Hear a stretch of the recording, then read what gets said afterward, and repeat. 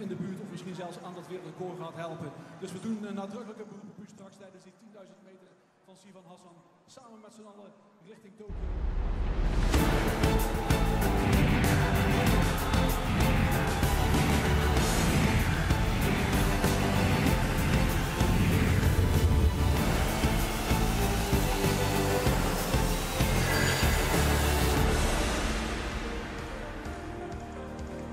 The 2021 World Athletics Continental Tour Gold reaches its halfway point today as we arrive in the Netherlands for the sixth meeting of the 12 on the tour. We're at the Fanny Blankers Koen Stadium. It's the FBK Games live from Hengelo. We have quantity, quality, and hopefully qualifiers over the next two and a half hours. There's a flavour of what's coming up. We kick straight off with a couple of the sport's top names. Mondo Duplantis goes in the men's pole vault, and then it's the 10,000 metres world champion Sifan Hassan back on home soil in the Netherlands. We close the programme later on with one of the up-and-coming Dutch female athletics heroines at the moment, Femke Bol, in the women's 400 metres. We have plenty of talent in between as well. Some stacked middle distance races as athletes continue the quest in many cases for those Olympic qualifying marks. The good news is we have 1,500 spectators in for the 40th anniversary of this uh, famous uh, championships, of course, the FBK Games, named after Fanny Blankers-Koen, who won those four sprint gold medals at the 1948 Olympics in London. Conditions pretty good, a little bit of a breeze down the back straight, but as you can see from the windsock, not too much to affect the athletes, and great to see smiling faces back inside athletics arenas. Wherever you're joining us from around the world on the World Athletics YouTube channel or other channels, my name's Chris Temple. Great to be with you again alongside the six times major medalist over 800 metres and celebrating the 10th anniversary of her very own 800 metres victory in Hengelo. It's a very good uh, good day to Jenny Meadows. Thanks, Chris. Wow, that makes me feel really old. Ten years since I uh, won here in Hengelo, but it's uh, it's a fantastic meet, as you said. The season's up and underway now, and this is the sixth stop on the Continental Tour. And I think it's really important once we get to this meet. It's one of those historical meets, and a lot of the athletes come here wanting to, you know, already get that qualification time or standard for their respective event, and it gets really exciting from now on in. Those are the 10 men who will compete, contest our first field event. So we're throwing straight in. Often, of course, a lot of the big names get saved till later in the meeting. But we are throwing you straight in with the uh, male athlete of the year for the World Athletics Awards, Armand Duplantis, the world record holder, who actually is, of course, looking to come back from a very rare defeat, having lost in pretty horrific conditions to his uh, good friend and rival Sam Kendricks of the USA in Gateshead in the opening Diamond League. That ended a 23 meeting winning streak for Mondo. So he is looking to come and produce something a little bit more that we would expect from him today as we see the athletes introduced uh, one by one in the uh, FBK Stadion. And I guess it's, uh, it's, it's not that Duplantis hasn't got much to prove, Jenny, of course, because we all know what he's capable of. But certainly with the countdown on now to, uh, to national championships and to the games themselves in Tokyo, he'd be looking to produce a little bit more now of what we expect from him. Definitely, and if you think back to that World Championships in Doha back in 2019, it was one of the most exciting events in that men's pole vault. I'm sure we'll be uh, treated once more to that great event come Tokyo, but certainly he'll be looking to put on a commanding performance here this afternoon. So we just saw Harry Coppell of the uh, USA going through, Cole Walsh of uh, the USA. There's Ernest John Obiena of the Philippines, the Asian champion. There he is jogging his way through to the uh, runway. Thiago Braz, the Olympic champion from Brazil. So we have the world record holder, the Olympic champion. The uh, world number one, of course, this year on rankings is actually Chris Nilsen of the, uh, the USA. It's very rare that Armand Duplantis is not top of the uh, world standings as it is, but at the moment, the 591 from Chris Nilsen, as we see one of the big Dutch hopes, Menno Vloon of the Netherlands, who uh, has been jumping very, very well this year. 585 is uh, lifetime best, but 596 indoors, Menno Vloon. And there is the man they've been waiting to see, Armand Duplantis, who uh, was speaking pretty confidently about uh, getting a couple of things right in this meeting. And as we've seen, conditions look uh, pretty good. Nothing will quite rival Jenny that Gateshead Diamond League for, for conditions, and a few of the sprinters who will be in action later on certainly face that uh, on that day. But it's good to see that conditions look like they won't play too much of a part today. No, and this meet historically always has good conditions. It's interesting. I always look at the athletes and see how many layers they're put on when they come out. So I was laughing actually at a few of the athletes with big jackets on, but 19 degrees. It's uh, pretty good weather for Europe at this time of the year certainly is. Well, this is a meeting, as you say, that's steeped in history. The 40th anniversary of the, the meeting. Five world records have been set at this meeting, but notably in the uh, the middle to long distance events, the likes of uh, Kenenisa Bekele and Haile Gebrselassie have set world records on the track in this event, and will be not too far away from seeing Sifan Hassan getting her what could potentially, she says she's in amazing shape, potentially be an assault on the women's 10,000 metres world record. Now she is, of course, uh, the European record holder, having smashed that uh, mark on this very track back in one of her rare outings last year. But like for a lot of athletes, it's been a, a difficult last few months in terms of training opportunities. She wasn't able to get back into the US for visa reasons because of uh, COVID protocols and uh, current situation. So the athletes, though, will get a great reception. We've already heard on the, as the athletes were introduced there, certainly for the enthusiastic Dutch crowd and quite a late, actually, uh, decision. Only two weeks ago, Jenny, they were allowed to have spectators in. 1,500 is a, is a great number to have in. So the meet director, Ellen van Langen, and uh, the team behind it out there in Hengelo have certainly uh, done, a, done a great job to certainly turn it all around in two weeks. Yeah, and I think this meet always has an enthusiastic crowd, and it's really nice that they've placed them all in the same sort of area 1,500 people, which is around about a third of the seating capacity. So I think the athletes will have a really good atmosphere. And really interestingly, as well, they've got a Zoom wall. So that'll um, lots of fans that can log on to a dedicated um, website. They can get their pictures, their images on that screen. We'll have a look at that. That's around the first bend, and I'm sure it'll be really interesting for a lot of athletes. They'll uh, actually get to see all the spectators on that Zoom wall, and it just adds to the atmosphere, doesn't it? I can imagine that. I can imagine one of the athletes, maybe in the, the 400 metre start, which is right by that Zoom wall, uh, as you say, on the first bend, suddenly sees one of their family members pop up on the Zoom screen just as they're getting ready and focusing in the zone for their uh, their uh, their race. As you say, we'll see that very shortly. I think actually you are you are able right now, wherever you're watching around the world, to get involved in that. If you go to the event website, the FBK Games website, I think you can get yourself involved in possibly being on that Zoom wall. So it's not too late to be there, literally, and try and catch a, uh, a shot of yourselves in the background. But really interesting, this men's pole vault. The Olympic qualifying marks, as we're going to talk about a lot today, of course. Many of the athletes actually in this men's pole vault actually already have the Olympic qualifying standard, which is at 5 metres and 80 centimetres. Um, but for a lot of the events coming up later on, there's a lot of athletes on the cusp of those Olympic qualifying marks who haven't quite achieved what they want to achieve just yet and it's uh, this, this is where the, the World Athletics Continental Tour Gold, Jen, I guess, comes into its own because athletes that can't quite get into diamond leagues because they're very limited fields, this is providing high-level competition, great opportunities for athletes to try and get those marks. Yeah, it is. It's a welcome addition, certainly. And the Diamond League standard, yes, of course, that's the best standard in the world. But I've been really impressed with these Continental Tour Golds. They've been as good as some of the Diamond League meets themselves. And it really gives the athletes not just a competitive opportunity, but they can also earn world ranking points, which I'm sure we'll talk about in a lot of detail as we go along. But uh, yeah, such a welcome addition, as is this lady here, Sifan Hassan taking a few deep breaths. I think whenever she goes on the track these days, she intends to put on a performance. And um, I don't think she would be here, Chris, if she wasn't willing and in the shape to think that she can really attack um, maybe a personal best, which would be a European record. And how fast can she go? We're yet to see, but uh, we promise some really exciting fireworks in this one. There's the first page of uh, athletes who will be involved. Uh, a big Kenyan contingent. Quite a few from Oceania as well. Obviously, athletes there weren't able to uh, to get out of Australia and New Zealand for, for quite some time. So the likes of Genevieve Gregson, very experienced uh, national champion multiple times of Australia, Commonwealth finalist as well, uh, taking the opportunity to get some racing in. Camille Buscombe as well, the uh, New Zealand athlete, multiple national champion from from there as well the pace uh, in this is going to be set up for Sifan Hassan. There's no doubt about that. They're going to be going for well, 215, uh, 256 rather kilometres, 70 second laps, Jen.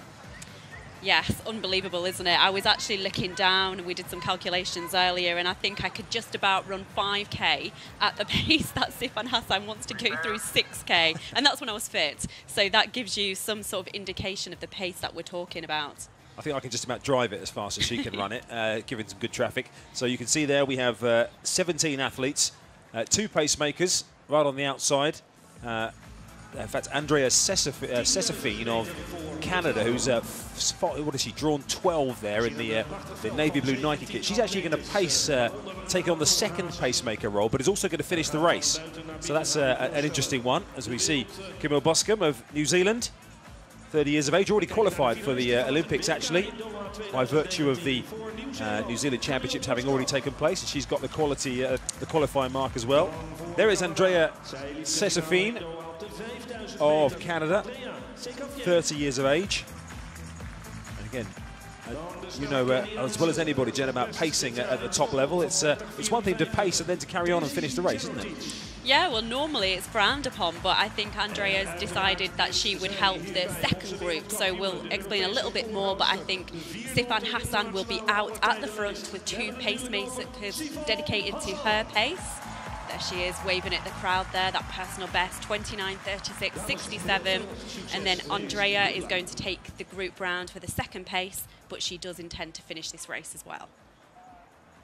So we're standing by for our first track action then of the 2021 FBK Games in Hengelo. Can Sifan Hassan, if it all goes well, challenge the 10,000 metres world record? So away and running then, 25 laps of the track. The world record stands at 29 minutes, 17 seconds, 0.45, set by the Ethiopian Almaz Ayana in the Olympic final when she uh, raced to gold in Rio. So that is the mark. Sifan Hassan's PB for context when she ran half the race pretty much on her own is 29.36.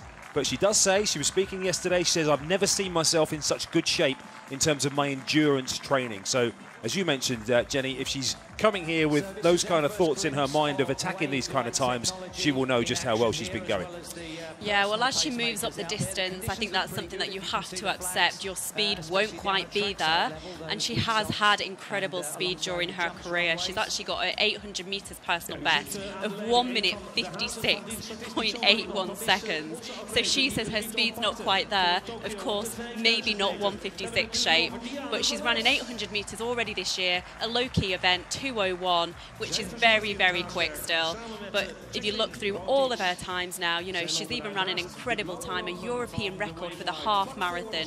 So her distance, the range of her distances is absolutely incredible. And I think we can forgive her for her speed not quite being there over the 800 metres and, uh, and below these days. But of course, it's been more important for her to improve that endurance. And if she's saying she's in that sort of shape, oh my goodness, we know that she is. And I can just see a picture there of Jos Hermens. He's one of the meet directors um, on the infield there. So he's always there with a stop clock. I've been a pacemaker at this meeting for Sifan Hassan over the 1500 metres. And Jos Hermens was screaming at me from the infield, telling me to keep going. And uh, it looks like the pace has started off really good so far. If you want to get paid, Jenny, run a bit faster, he was shouting, words to that effect. words to that effect. I don't understand Dutch, but yeah, I think he was. I thought you were going to say for a minute, Jos Hermens popped up on the Zoom wall, which you might get a shot of when they come around the, uh, the first bend. So we're aiming for 70 second laps. Uh, that would be world record pace. The other time to worth mentioning is the Olympic qualifying time, which is 31 minutes and 25, which is being paced by Jacqueline Rotich in the third group there. Uh, of the uh, the athletes. It's Diane Van Es at the front for the Netherlands at the moment, with the uh, support alongside of Daisy Cherotich in that leading group as well. But you will notice uh, as well the wave-light technology, which is becoming a more regular scene now on the international distance running. That's the purple lights you can see on the inside there. This wave-light technology, which is at the pace that the pacemakers should be aiming for, and the separate green lights behind are basically targeted for those athletes who are behind the pacemakers to make sure that they know exactly where they need to be. So Diane Van Es following, as you can see, just glancing down, keeping an eye on those purple lights. But as we've discussed, Jenny, when we've been talking about the, the, the wave light technology before, very useful for the athletes and particularly useful for the spectators as well in the stadium. But these athletes, you know, glancing down at their watch, they know on feel as well how they're going. Yeah, they do, and I just have to really compliment um, the pacemaker there, Diane Van They were asked to do 256, and she returned 256.12. So those lights are definitely helping her. She's keeping the group on task here. But I think this is uh, the first time for a lot of these athletes who'll be using these lights and they've been popping up at quite a few meetings recently. And as you say, Chris, you know, it really helps as well the spectators. It really builds the narrative so they understand what's happening, are they on track? What sort of times are all the athletes going for? And I think there's something that will really get into the, you know, the blood of uh, the athletics world in the next few years. And uh, they're doing a great job so far.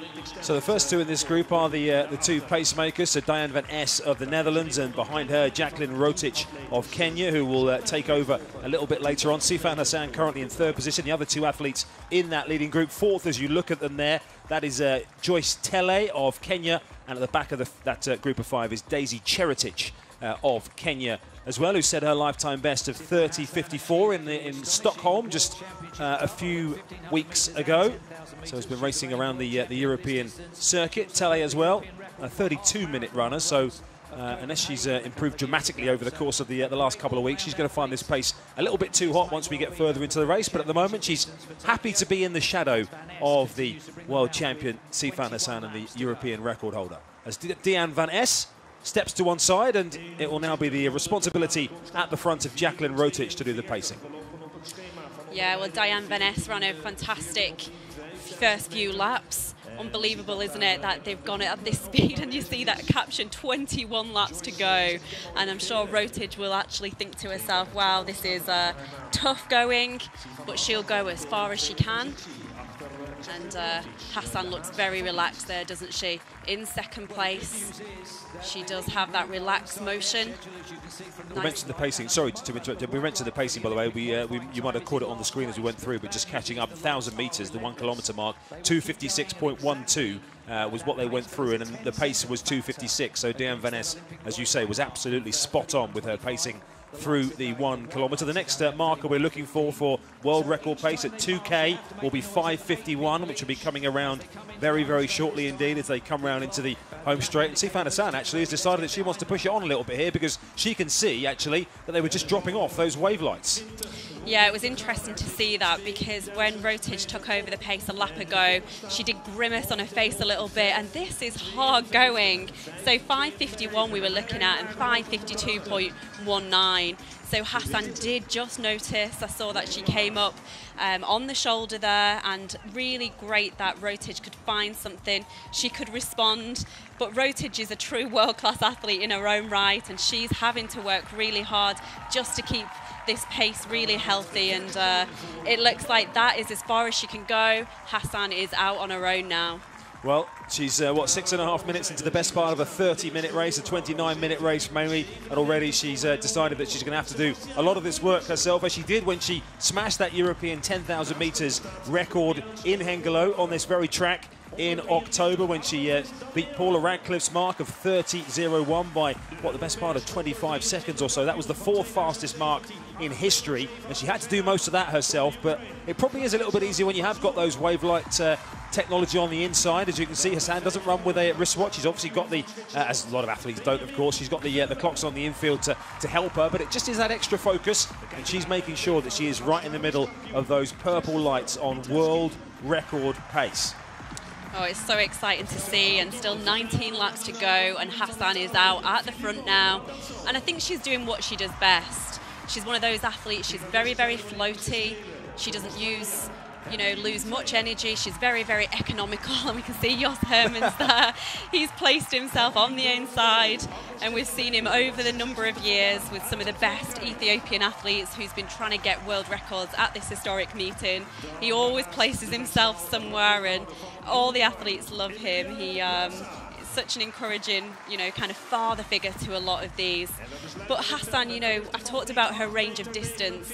If I can just compare her to Mo Farah, um, when he moved up to the 10,000 metres on the track, um, you know, he did a lot of kind of mental work so he could keep concentrated. It's a long, long way on a track, 25 laps But because Hassan has run so, so well, even over the half marathon, 66 minutes there, she's ran 106.15, which is a European record. I'm sure she can keep her concentration on this track event. And as you say, you know, those wavelength lights as well, I'm sure that's really, really helping keep her on track and really interesting to hear the crowd. They're all getting behind her because they know what they're witnessing. They're hopefully witnessing something that we've never seen before world record pace. She said she was in shape, and it certainly looks like she's setting off with good intention and uh, oh, I'd love her to do it. well, we're coming up towards the next kind of uh, marker, if you like, because 8.47 there or thereabouts is the uh, aim at 3K. As you can say, as long as she's sticking close to those uh, wave lights, then she's going to be getting pretty close to it as we uh, stand by for that split. And it is indeed 8.47.91, so it's right on it, as we say, with the lights to, to help her. And she says she's going to hasn't quite finalised exactly what she's going to do in Tokyo, but she's going to be probably targeting the the 5k and the 10k because the the 1500 and 10,000 double that uh, she did, of course, in Doha is not going to be possible because of the schedule in Tokyo, because the 1500 metre heats are on the same day as the, uh, the 10,000 metres final. And also, she said, Do you know what? I've already done the 1500 and the 10k double, so I'm going to try something different. So that is what she's aiming for 5k and 10k double. And this is certainly uh, looks like at the moment. With uh, about certainly a third of the race distance complete, we should mention that. That uh, at the moment she's looking good and she is on world record pace. Well, it was amazing what she did at World Championships in Doha. No one ever has managed to do what she did, winning that 1500 metres and the 10,000 at either the World Championships or the Olympics. So she is the only woman in history who's managed to do that. And despite all her records, every event she's done, it's a national record. Most of them are European records. She's got the world record for the mile but she's never actually won an Olympic medal. Her best was fifth place in the 1500 metres in Rio, and I think she actually took part in the 800 metres there, and I think she got knocked out at the heat. So absolutely incredible with an athlete with the personal best and all the records that she's got, that she actually doesn't own an Olympic medal yet but looking at the form that she's in, surely, surely it's only a matter of time. 10, 9, 10 weeks away from Tokyo. Let's just hope she can maintain this shape and she can take that Olympic medal. So still 16 laps to go, not at the uh, the halfway point yet. Sifan Hassan in the pursuit of history in Hengelo at the FBK games. Mentioning in behind, by the way, we just got a fleeting glimpse a moment ago of that uh, chasing pack, who are what the best part of probably. We're waiting for them to come into the back of the shot on the uh, the far side. They look like uh, they're at least 100 metres behind, probably uh, maybe a little bit more. But Joyce Ch uh, Tele of Kenya, who's in that chasing group, she doesn't have the Olympic qualifier at the moment. A couple of weeks ago, she ran 32.12. Uh, so she's got the best part of 48 or so seconds to find today. But again, benefiting from, I guess, the atmosphere and having someone like Hassan, although she's 200 metres ahead of you, the atmosphere in the stadium, the, the general vibe, and the, the, we know how fast Hengelo's track is in good conditions. Trying to use all of those, I guess, for the athletes in behind who are chasing the qualifiers. Yeah, you can only feel sorry for all the athletes behind. It's almost a demonstration, isn't it, by Sifan Hassan here. But you have to mention a lot of the athletes who are racing here. We've got some real quality. A lot of these women will be in Tokyo in this 10,000 metres. Some of the athletes in the 5,000 metres as well. And we just got the split there at 4,000 metres, 11.43.33 bang on the time that we're looking for at that stage. There is that second uh, chasing group, by the way, which includes uh, Tele, who I mentioned. It also includes Daisy Cherotich, who does already have the Olympic standard. The other athlete in that uh, trio was Gloria Kite of Kenya, who's uh, one of the training partners of Rhonex Kipruto, the world bronze medalist over 10,000 metres. Her personal best, by the way, was set in this stadium uh, in October 2020 when the uh, qualification window was closed last year because of the, uh, the COVID restrictions on competition. But she was 0.17 of a second outside the qualifying time. So I guess uh, the, the, the good news from her point of view is that it wouldn't have counted if she'd made it, but it does uh, hopefully give her confidence to uh, come here on her outdoor season opener over 10,000 metres. She's run a couple of indoor 3Ks as Gloria Kite, who's in the third of those athletes there uh, in fact, she's uh, second of those three athletes now, I think, in that leading group. And also, we're just seeing uh, joining the back of that group uh, as well. Another of the uh, athletes from uh, further back, which is Irine Kimais of Kenya as well. So that chasing group is now up to four, with all the pacemakers having done their job, certainly in the leading groups anyway. The pacemakers for that second group. Sarah Lahti of Sweden is uh, listed as a pacemaker for that uh, second main pack, and also, as you mentioned, Andrea Seccafien of Canada. Both of those already have the Olympic standard, as does Camille Buscombe of New Zealand, but everybody else who's capable the likes of Dominique Scott of South Africa, look at her, 31.41 she's run this year. She needs to find 16 seconds. Very experienced athlete, but she'll be in that chasing group looking for exactly that. But at the moment, all eyes on Sifan Hassan as she continues heading towards the halfway point. She needs to get to halfway in 14 minutes and 39 seconds, but again, without even needing to see the clock, the wave light technology, those purple lights on the inside, that is world record pace. She's keeping her eyes firmly on it. And it is that mental focus that you speak about, Jen, when you're running lap after lap, circuit after circuit out on your own. Yeah, and athletes have a lot of different techniques. Some of them obviously just tick off the laps. Other people just try to almost remove themselves from what they're actually doing and trying to just distract themselves. So I don't know what Hassan is thinking, whether she's trying to think. We can just say Lahti there. She's the pacemaker, one of the pacemakers of this second group. And uh, looks like they're doing well. I think we just saw that there was a water station there on the back straight. It is a long way to run so they do offer some of the athletes uh, water, but that's clearly not on the mind of Hassan at the moment. And we're just going to get our next checkpoint. We're looking here at 5K at the halfway mark.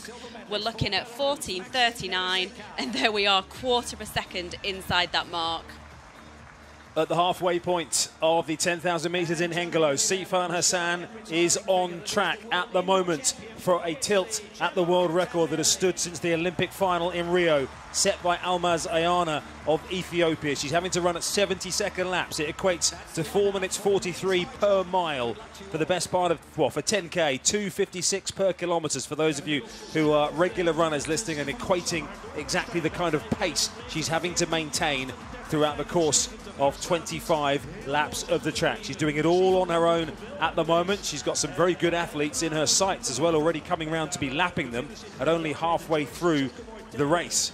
We saw a glimpse a moment ago of the, the chasing group as Sarah Lahti, one of the pacemakers, I think, was just stepping off at that moment and handing over to Andrea Seccafien, Camille Buscombe of New Zealand. Certainly, they were just going through the shot in that group. Uh, also, Rose Davis of Australia. There's Isobel Batt-Doyle coming through of Australia. All these athletes about to get lapped by Sifan Hassan as she makes her way down the back straight. Well, she's really been rewarded by that real economical pace. She's never been more than, you know, one second outside any of those target times so far. And it's great just to see an athlete who's at the top of her game. Be interesting to see, wouldn't it, if she'd had a seamless preparation as well, because she's now based in Utah, uh, Salt Lake City, because of the altitude, basically. She's now coached by Tim Rowberry. She's been training in various locations all the way uh, around the world in the last uh, few months in Holland itself. She was in Tenerife for a little bit. She's been in Kenya. She's been in the USA for a limited time uh, as well, of course, formerly based in Portland in Oregon, but now uh, moving to, to Utah with this new setup. So you, you can imagine it's been a challenge to find training venues and uh, obviously altitude locations as well, but she was speaking, saying how much she loves Park City in Utah now and how it's become her new home. So if she can produce something like this on the back of a fragmented preparation in terms of it not being ideal, then uh, it's pretty scary to think if it had all gone well in terms of uh, if COVID hadn't been around and everything had been as planned. Well, I'm just watching Jos Hermens. He's gone from the inside position on the track to the outside. And how many times has he been at this stadium, at this venue, seeing world record after world record? and could we be seeing another one? It's just really interesting to think, you know, like I say, the depth of personal best that she's got. She's been the European cross country champion. She's medalled at the World Indoors and the European Indoors on those tight turns. And now she's got a personal best all the way from 800 metres all the way to that half marathon. So she can bring it on the indoor, on the outdoor, on the roads and this is a great athlete. We're witnessing one of these moments in history, and she is still on target. 17:34, we were looking there. She's just in, just outside half a second away from that target at that point. So well into the second half of the race now, hitting 6K at 17.34, as you say, Jen. Still ticking off those two. Jos Hermens is getting closer. He's nearly in lane one. If he gets any closer, he'll be in the way. But uh, athletes now, as we see, uh, Rose Davis of Australia just stepping aside, allowing Sifan Hassan to take the shortest route. Hopefully, the athletes will do their bit around the track as they realise that Sifan Hassan is approaching. And while they're all chasing their own uh, own targets, I guess, as well, it would help her if they do just step to one side and make life as easy as possible. But of course, athletes in the zone, sometimes you won't see. Sometimes the crowd noise means you just simply won't see that she's uh, she's coming up around the outside. That's possibly the case with Genevieve Gregson there, who is chasing her own targets. Yeah, all these athletes have got something to run for. You mentioned Rose Davies there of Australia, only 21 years of age. This is her first European season.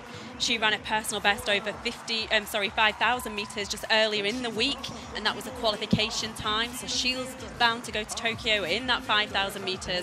And all of these women will be running either for Olympic selections or to try and run a personal best here at this meet. And I think we know straight away it's good conditions, 19 degrees. It's not too warm but she's getting frustrated, Hassan, isn't she? There, you can see that she's actually saying to Jos Hermens, tell some of the other athletes to move out. I'm having to run a little bit further now, and um, it's a tough one. That is, I was just about to sort of almost go back on what I said because if you're an athlete here and you are chasing an Olympic qualifying time and you step out of the way for Sifan Hassan and you miss the qualifying time by 0.05 of a second, you're going to be absolutely kicking yourself, aren't you? You are, and you know, I don't think it's a disrespect thing. I think it actually sounds really noisy in the stadium. You know, we have got the 1500 fans. We've also got. Um, a cr crowd noise being filtered into the stadium as well to really build the atmosphere. We can hear the stadium announcers, and to me, you know, it doesn't actually feel like it's COVID time. So I just think it's such a great atmosphere, and some of the athletes aren't aware of it. And like you say, Chris, they're running for themselves as well. So. Um, good that Hassan has managed to calm down. She looks a little bit more relaxed now, and um, maybe she's just got a stretch of track in front of her. Yeah, I thought she had, so she doesn't need to worry about any traffic for the next 50 metres at least. And uh, let's hope that she can just keep that mental focus, keep driving. This is going to start hurting now at this point.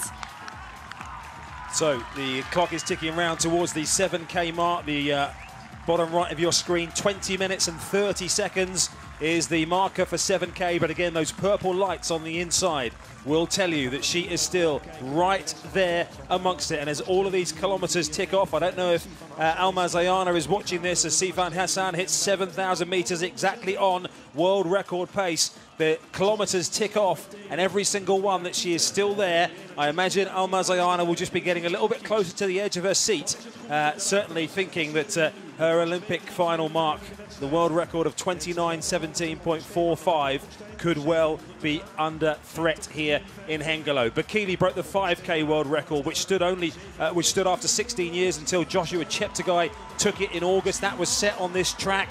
Haile Gebrselassie set the world record in 1998 over 10,000 metres. That also stood for six years in Hengelo as well. So athletes at the very top have come to Hengelo knowing they can get conditions that will absolutely suit them. We know about the shape that Hassan has been in as we see that chasing uh, group again headed by Kimais there in the, uh, the black who doesn't have the Olympic qualifying standard at the moment so she's chasing 31.25 but even that chasing pack now the camera foreshortening the angle. They're probably only about 50 metres from getting lapped. She's nearly going to lap the whole field.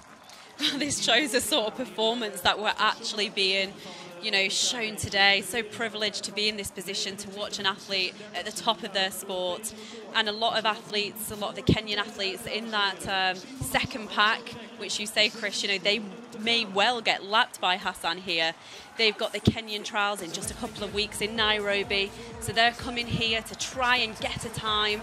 Everyone wants to race in Hengelo, and we'll see in some of the fields, especially the middle distance fields, they're absolutely stacked always know that we can put on a great meet in Hengelo. Ellen Van Langen, we spoke to her yesterday, Chris, didn't we? And um, you know, she said she doesn't like to turn athletes down. So many athletes try and get in this meet, and you know, she was obviously Olympic champion herself, Barcelona in 1992 over the women's 800 metres, a heroine of mine, and she wants athletes to get this opportunity to compete here, and a lot of the world's best have taken this opportunity.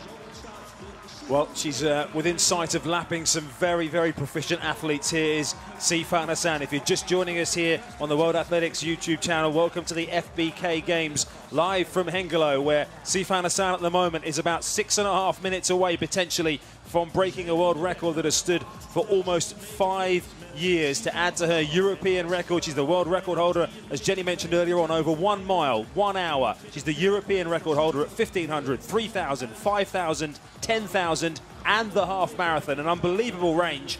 And here she is about to take down, it would seem, if she can keep this going. And there's not many signs at the moment of struggle. You can see still looks pretty relaxed, keeping her eye on those wave lights and still right up there with the leading of those uh, purple lights, which are pace she goes through with two kilometres to go 23 25 right on the money still yeah, it's very metronomic what we're seeing, and I think that's why she's being rewarded with still looking pretty fresh at this point in that last 2k now. All her laps have been, you know, within half a second of that record all the way through. And it's uh, good that she's passing some athletes on the back straight here. I'm sure she's trying to pass some of them before she gets to that bend but unfortunately I think she's got to that bend now and she might have to go a little bit wide. But yeah, four and a half laps to go, bang on that world record pace. And when you actually watch her, sometimes she can rally in the last couple of laps. So if she can rally to get under that world record and she's not trying just to break it remember she's trying for somebody else for the future not to be able to break her record so I'm sure she's going to give everything that she's got over these next four laps to first of all tick that box and get that world record but hopefully put it out of sight for the next people who are trying to attack that world record in the future. That's the voice of the six times major medalist Jenny Meadows with us here on the World Athletics YouTube channel as Sifan Hassan now has completed uh, an entire lap on the whole field. She's gone past everybody. There is best part of what four and a half minutes left of running here. 29 17.45 is the world record set in Rio in 2016. The meeting record is going to get smashed here, by the way. It was a good night for Eilish McColgan last night as she qualified for Tokyo in the uh, Great Britain 10,000 metre trials. Well, her mum, Liz McColgan, uh, currently holds the 10,000 metres meeting record from back in uh, 1991, which is a very successful year uh, for Liz McColgan at 30 minutes and 57. So uh, I'm afraid that is going to be in pieces by the end of uh, play today. But I'm sure Liz, having held that record for so long, will be uh, won't be too sorry to lose it to a performance like this, which if it keeps on moving in the way that it has been, the world ranked number one female athlete across all disciplines. The unique way the world rankings are classified means that all different disciplines across track and field can be ranked together in the same list. And Sifan Hassan currently is world ranked number one above everybody else and still looking unbelievably strong as she comes through with 1,200 metres to go. Three laps to go now. And she's definitely on course to absolutely smash that 30 year old meeting record. 1991 and all the great competitors who's competed here over the years and I'm actually looking at some of the fans on that wall. Can't see Liz McColgan there. We can't see Liz McColgan, but I saw Ethan. Ethan looks like he's on the edge of his seat there. He's getting really, really excited. And we're just about to come up with a 9K split. We're looking at 26-21. This will be a real indication. The last marker we're going to see. Oh, and it's perfect, isn't it? Five hundredths of a second outside that. Sifan Hassan needs to really dig deep now. Dig deep, just less than just a little bit more over two laps to go as she overtakes Davies there. Rose Davies from Australia. I think that's the second lap time she's uh, lap Rose Davies now, who is Tokyo bound herself in that 5,000 metres. Two laps to go now for Hassan. A steely focus on the Hengelo track underneath her for Sifan Hassan as she now moves to within 800 metres of history. She's due to run the 1500 metres in the Diamond League in Florence on Thursday night. A mouth-watering contest with the likes of uh, Kipyegon and Laura Muir as well. Faith Kipyegon, the uh, world champion. Both of those are waiting for her in Italy on Thursday. Laura Muir is running in this event later on in the 800 metres, but at the moment it's all about Sifan Hassan. Jos Hermens has been doing his bit on the uh, the top bend to keep urging her on. She's done this all herself since around about what uh, two kilometres in, possibly when the pacemakers were all, uh, I guess, pushed to one side. And she said, you know what? I'm going to do this myself with the help of that wave-like technology. 29, 17.45 for the world's number one athlete, the 1500 metres and the 10,000 metres world champion. The first time that anybody had done that world championship double. Sifan Hassan breaking new barriers again. And at the moment, Jenny Meadows, as she comes down to take the bell very shortly, this is looking all on Yeah, I think we're seeing a world record here from Hassan and following those wave, wave light technology and she's ahead. She's ahead now and I think she's pushing on. I think she's actually put a spurt on during that last lap and this last 800 metres she's really dug deep and she's ahead of the lights. She's moving her arms, she's digging in. This is Sifan Hassan at her very best. Jos Hermens likes it, the crowd like it. 250 metres to go. This is Sifan Hassan looking for a world record over this 10,000 metres distance. So Sifan Hassan, as you say, pushing herself on now, gritting her teeth, e uh, eking every last drop of energy that she's got now, not just to break that world record, but to really take some seconds off it and make it an insurmountable mark for other people in the future. It's Hassan then with the support of the Hengelo crowd on home soil at the FBK Games, which we know has produced so many fast times in the future. The likes of Bekele, the likes of Gebrselassie, and now Sifan Hassan, 29-17, is going to get absolutely obliterated here. It's another chapter in the history books under the name Sifan Hassan, 29.06.84. Absolutely stunning from Sifan Hassan. Oh my goodness, that last lap was unbelievable. She's absolutely smashed it. Over 10 seconds off a world record. No one should be able to do that. She said she was in shape. She wouldn't have arrived here with the intention of running a world record, saying that she could if she didn't think she was in that shape. But even Sifan Hassan, I don't think she can quite believe the overall time that she's got. She was rewarded for that consistent pace and that last 800 metres, she absolutely put her foot down and absolutely smashed the world record to pieces. She's run a 2.45 10th kilometre there, Jenny. 2.45 at the end of a 10k. Well, she set off running 2.56 and she ran 2.56 for the first nine kilometres and then she sped up by nine seconds. I'd be really interested actually to see what her last lap was. It was around about 60 seconds, it had to be.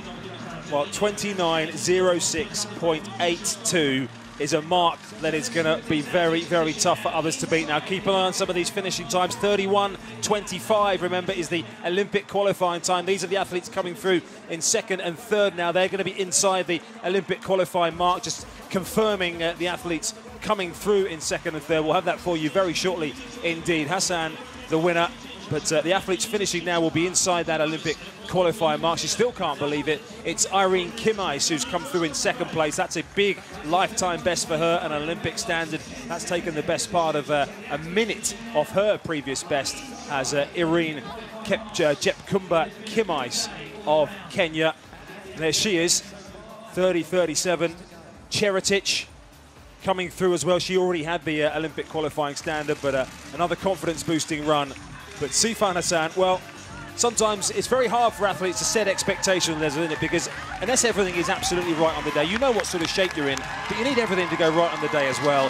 And absolutely everything went right and more for Sifan Hassan today. Quite rightly taking the adulation, not only of some of the meet officials and the meet directors there, but these Dutch fans inside the Fanny Blankers Koen Stadion, a lady who made history herself back in the 40s with those four Olympic golds. Well, Sifan Hassan doing it herself today with that 10,000 metres world record.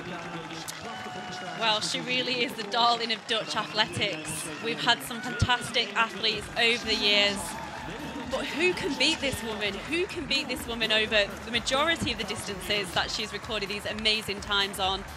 But this 10,000 metres, she's absolutely made it her own there.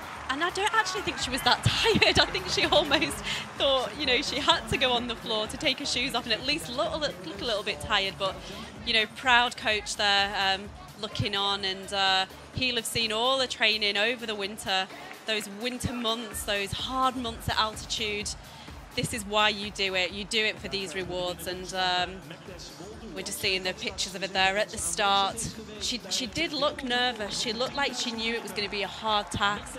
She came here for one reason and one reason only was to get that world record. But that last kilometre, she was really rewarded for being so economical, being so consistent, that she could absolutely put her foot down over that last 1K. And we just saw what sort of time she got at the end. She couldn't believe it. She knew she was economical throughout, but to come home over 10 seconds faster than the old world record, which was all done in the last kilometre, absolutely unbelievable scenes. Well, that is unbelievable. And I think Sifan Hassan's uh, expression there, as you said, Jen, when she, she crossed the line was a picture itself. I think she said, what? As if to say, I felt good on the last lap. I thought I'd push it on. Maybe I'd take five seconds off it. She's knocked 11 seconds, the best part of, off the previous time set by Almaz Ayana of Ethiopia in that Olympic final in Rio. And don't forget, an Olympic final, and often we see, don't we, that major championship finals, they're not fast. They're often tactical uh, championship races, and that will have been competitive for Mayana with all sorts of athletes uh, pressuring her on the day for the gold medal. Sifan Hassan has run, what, eight tenths of that race completely on her own. Yeah, that's actually really remarkable, isn't it, when you actually think about that? She got help for the first two kilometres, and then from there, she had to be on her own. No one's been able to do that in history, so never mind today but she's great in a tactical race as well. And when you've got the speed that she has, and she's had it in her legs, she's had a 156 in her legs, you know, during her career over 800 metres, she can dig deep. And um, we know she's got the world record, but she's going to be hard to beat in a tactical race in Tokyo as well. Just to clear up some of the other athletes coming through, by the way, um, there was a big gap between Cherotich uh, in third, uh, Kip finished in fourth place in 31.46. So uh, no one who was chasing the Olympic qualifiers further down the field. Uh, in fact, as I say that, our, our computer is just refreshing here with some extra results coming in. Uh, it's listing Dominique Scott as uh, finishing in 31.19 uh, with a personal best. So that is uh, very significant for her because that is an Olympic qualifying standard for Dominique Scott of South Africa. But we'll clear all of that up very shortly indeed. So if that is confirmed, that is a huge news for the experienced South African. But this is the pole vault. This is Menno Vloon of the Netherlands, who is the certainly the closest challenger on paper this season to Mondo Duplantis, who hasn't come into the, uh, the competition as it stands. Vloon here at 5 metres and 50. Making that look pretty easy. It's, uh, again, great for the meeting, great for the Dutch fans to, to have somebody really mixing it with the, the top vaulters because the Netherlands, with the greatest respect, isn't a nation that is uh, notable for producing pole vaulters. But Menno Vloon, particularly with that jump indoors over the winter of 5.96 in France, that shows what he's capable of on this day. It does, and uh, that was a huge clearance, wasn't it? Well, he is five times Dutch national champion, and he will get a really good competition here. 5 metres 80 is the Olympic qualification standard, so he's bagged that already during that indoor season. This is our first look in Hengelo then at Armand Duplantis, who's coming in at 5 metres and 50 has had some uh, some struggles with some lower heights in previous competitions. Duplantis in Hengelo, first time up. Goodness me.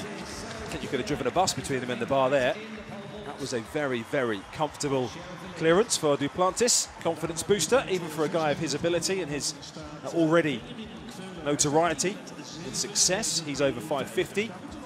The only athlete we've actually lost in the competition so far is actually Great Britain's Harry Coppell, who's failed three times at 5 metres 30.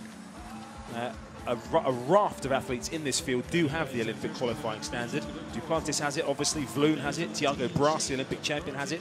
Obiena has it. Cole Walsh has it. Harry Coppell also has it. Ben Broeders of Belgium has it as well. The one athlete who would be looking to push up towards it would be Rutger Koppelaar of the Netherlands. But uh, slightly surprising to see Harry Coppell uh, go out at such a low height, Jenny. Yeah, he's had a great couple of years. Um, 2019, he bagged that Olympic uh, qualification, and it was great at the British Championships last year to see him get the national record 585. So yeah, he will be disappointed, but it's great that he's mixing it on this level with these guys week in, week out, which uh, is really important for any young aspiring athlete. Yeah, and again, since the days of Steve Lewis, Great Britain uh, again haven't always had pole vaulters mixing it right at the top level. So Harry Coppell, who uh, we can now mention, shares a, shares a club with you, Jenny. he does, Wigan. he does. so, uh, yeah, part of the, uh, the Great Britain setup under Scott Simpson. Uh, that camp has had a great week with Holly Bradshaw setting a new outdoor British record uh, earlier in the week of 482. But at the moment, Hengelo is all about Hassan. Sifan Hassan, who is uh, reveling, I think, and what a, what a great moment for her to have done this in a stadium. 1,500 Dutch fans there to see it as well. We've seen so many good performances in, in empty stadiums over the course of the uh, the last few months or so, but I think it's it's really nice, really fitting that uh, with the uh, the safety protocols all in place and uh, the, the COVID restrictions now thankfully relaxed and starting to move in the right direction, that uh, Hassan, I'm sure, a difference was made to her from those fans. There's confirmation of those uh, results a little bit earlier on from the women's 10k. Confirmation of that Olympic qualifier for Dominique Scott with 31.19. So that's uh, that's huge for her. So now come the obligatory photos for Sifan Hassan next to her new mark. I think we're going to be seeing that mark in those uh, in those athletics statistical record books for quite some time. 29 06 82. And if anybody was born on that date, that will be in your mind forever, I'm sure, that Sifan Hassan set a world record that was exactly the same as your birthday. Just a couple of people younger than us, Jenny, obviously. we are we're now well past it and uh, born much earlier than 82. You're live with us on the World Athletics uh, YouTube channel and joining us uh, around the world. This is Chris Temple alongside the uh, 10 years ago Hengelo champion, Jenny Meadows. I prefer to call it a 10th anniversary rather than 10 years ago. It just sounds a bit more sort of celebratory, doesn't it? It does. It doesn't seem that long ago when you say it that way. But um, wow, I'm still in shock with that finish time. But what I really enjoy is Sifan Hassan looks like she's enjoying herself. I know in previous years she's looked quite tense. But I think this is just an athlete who is just enjoying that purple patch in her career, and uh, long may it continue. So it's amazing to think we've had a world record, and that's only our first track event of the day in what is a very, very busy schedule. Two and a half hours in total on this international broadcast. And the next up on the track, we're into the sprint distances with the men's 200 metres. And again, the Olympic qualifying mark is of a lot of interest to almost everybody in this field. We see Churandy Martina, who actually had a special presentation made to him earlier on for his final appearance today at the FBK Games. The 36-year-old who's been a magnificent servant to Dutch athletics, five times a, an Olympic finalist as well. And he needs to, uh, to find something if he's to have one last tilt at uh, an Olympic Games. Churandy Martina, who'll go out of lane seven. The only athlete in this field who does have the Olympic qualifying standard is Isaac Makwala of Botswana, twice a Commonwealth champion at 400 metres. Even Christophe Lemaitre, again, hugely experienced, multiple European champion, Olympic bronze medalist from Rio over 200 metres. He doesn't have the Olympic qualifying standard at the moment of 20.24. Athletes can get in via the world rankings, which again we'll talk a, a, lot more about as we go through these next couple of hours, but getting the standard is a huge tick box.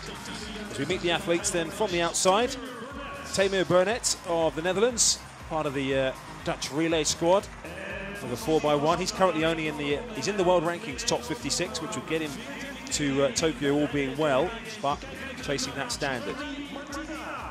Randy Martina's best this year has been 20.84. He's a sub-20 man uh, at his best, but that was uh, back in 2016. There's Isaac Makwala, specialist over 400 metres. Has that Olympic qualifying standard, just a year junior to Martina at 35 years of age, Isaac Makwala. Eseosa Desalu of Italy, currently uh, ranked 32 in the Tokyo standings out of those 56, so he needs the qualifying standard as well. Luxolo Adams, the 24-year-old. So three or four uh, meets so far this year, 20.34 his best. Onyema Adigida oh, the Netherlands, the European junior champion over 200 metres from 2019. Set his personal best this year in Belgium. Christophe Lemaitre then, who has had some injury issues, there's no doubt about that. His best this year, well below what he's capable of, 21.36. That's what he's produced uh, outdoors. And on the inside, Solomon Bockarie of the Netherlands, who's been a regular at uh, European Championships representing Holland. So this is uh, an interesting event, this, because if conditions are good, 20.24, the Olympic qualifying standard, is within reach of a number of these athletes. Makwala, certainly the favourite in lane six. Luxolo Adams, probably the most likely on form this year, and Desalu in Italy, so out of four and five. those two really having a very good look at the Olympic qualifier. Time for the men's 200 metres in Hengelo.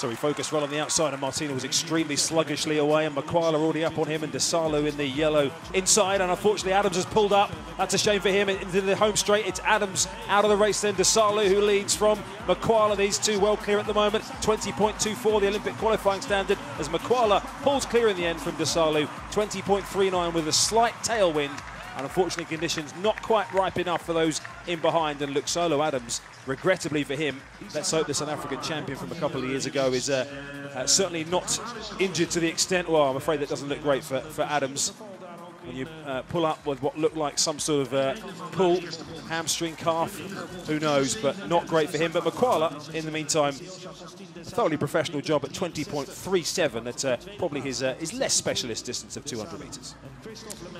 Well, it was a significant win in the end, wasn't it? But um, it looked uh, really close until that last 50 metres. And uh, yeah, Adams is having some help getting off the track there but definitely that 400 metre strength from Isaac Makwala helped him all the way to the end.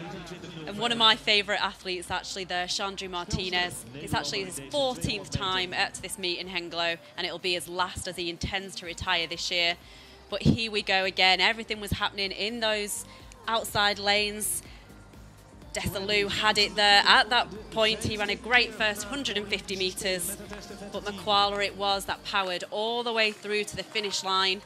And I have to say, Chris, uh, 20.37, it's a great time, but absolutely unbelievable that he's the only athlete in that field who does have the qualification time for Tokyo, because there's some big names in that field, um, none more so than uh, Lemaitre there. Yeah, absolutely, and that's, uh, I guess, uh, the difficulty of the schedule that athletes have had over the course of the last year, not just with their training, but also with uh, competitive opportunities as well, which is why we're seeing several athletes, as unfortunately we see Luxolo Adams of South Africa uh, being helped down to the finish area. But it's why we're seeing so many athletes competing, you know, very regularly because they've got to take every competitive opportunity they can, you know, to get the qualifying standard. There's no good saving yourself for Tokyo if you're not going to be there. no, and I think we'll see this in some of the middle distance events. Um, a lot of the athletes, uh, one of the British athletes, Ellie Baker, I think this is the fifth time she's raced it in 10 days. But if you don't get the time, you're not going to be there. So this is the tactics and the strategy between a lot of people's race plans this year. We saw just a slight tailwind of 0.6 metres per second there, but uh, the winner with a, a highly respectable 20.37 from Desalu and Lemaitre. It's an improvement from Lemaitre on what he's produced this year. As I mentioned, 21.43, his legal best mark this year. But Churandy Martina, as we said, uh, sluggishly away, but certainly finishing uh, strongly down the home straight and finishing his FBK Games uh, career in Hengelo I'm sure, uh, as a very popular member of the uh, the Dutch team. He's certainly been a, a, great servant to them. And Dutch athletics having, a, particularly over the shorter distances, and of course with Sifan Hassan's world record, really has having a, uh, a purple patch at the moment, likes of Femke Bol to, uh, to come later on as well. As we see Desalu there of Italy just reflecting on his time of 20.63, just outside his uh, season's best that he set in the uh, European Team Championships in uh, Silesia just a weekend ago. By look of it, I think he felt like, Jenny, maybe that he could have uh, gone a little bit faster today. Yeah, certainly he's started his season really well and he had a great first 150, didn't he? But uh, I think the strength of Makwala was always going to come through towards the end. But next up is the men's 800 metres, and this is one of the races that we're really looking forward to um, this afternoon. Here's the full lineup, and I'm sure we'll meet the athletes soon. Well, it's almost a preview to the uh, the British trials, isn't it? There with uh, with four of the the top men. The one name you can't see on that list, unfortunately, Max Burgin, the uh, European under 20 record holder from that amazing run in Ostrava. Uh, a late withdrawal uh, from this. Uh, that's a, uh, a, random selection of the uh, the second half of the, uh, the start list there, but a real shame to, to see no Max Burgin today, Jenny. Yeah, Max has just picked up a little bit of a niggle, so uh, I think with that British Olympic trials just three weeks away, it's uh, really, really paramount that he gets there in full fitness. So he did travel to Hengelo, just made a sensible decision, I think, just to pull out on the day, but that's our pacemaker on the outside. And from Spain, this is Ordonez. Personal best of 143.65. He's got a season's best so far just last week, 145.88. We'll have the French athlete, that's Robert. Van Diepen here. He had a silver medal in the 400 metres at the European Indoor Championships, so we can go over the one lap and the two laps. Elliot Giles there for Great Britain. He ran the second fastest time in history indoors. This is actually his debut outdoors in 2021. Well, I can't almost keep up with the lineup. There's so many athletes in this. He'll be a danger there. Borkowski, the Polish athlete, got a bronze medal at European Indoor Championships. Guy Learmonth, one of the British athletes, he'll be looking for a great result today against a lot of his compatriots. Daniel Rowden there from Great Britain as well, had a breakthrough season last year, 144.09. He started with 144.60 so far this year. Kyle Langford, he's been to the World Championships a couple of occasions. He was fourth in 2017 in London. Joe Lobler's there from the Netherlands. He's getting a big crowd, uh, shout from the crowd there. His best is 145.96 from last year. And here, sharing a lane with him is Crestan from Belgium. He'll go on the inside.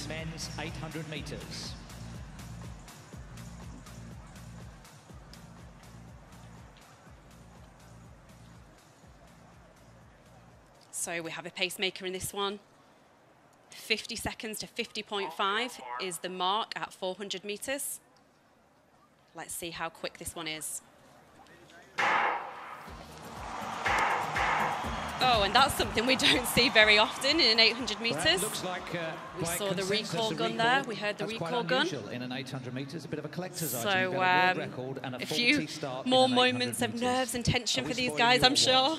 Yeah, yeah, Geoff Wightman, the stadium. He gets everywhere, Geoff Wightman, doesn't he? Stadium announcer there in, uh, in Hengelo. The Olympic qualifying mark, by the way, Jenny, worth mentioning again as we uh, see uh, an unsatisfactory start as far as the uh, starter is concerned. It was pretty easy to see there. Was it? it was a bit of a stumble from the pacemaker on the outside, Hutzol, but not enough to, uh, it would seem, cause a recall. But either way, uh, as you say, the athletes, uh, as you know better than anybody, Jenny, in 800 metres, getting themselves, I guess, getting the string pulled taut and released, ready to go when the gun is sounded. But unfortunately, not happy with that. The 145.2 is the Olympic qualifying standard. Those of significance that need that standard, Ordonez, Van Diepen, Borkowski, Learmonth, Robert of France, Lobles and Crestan on the inside. The likes of Giles already has it, Rowden already has it, Langford has it as well.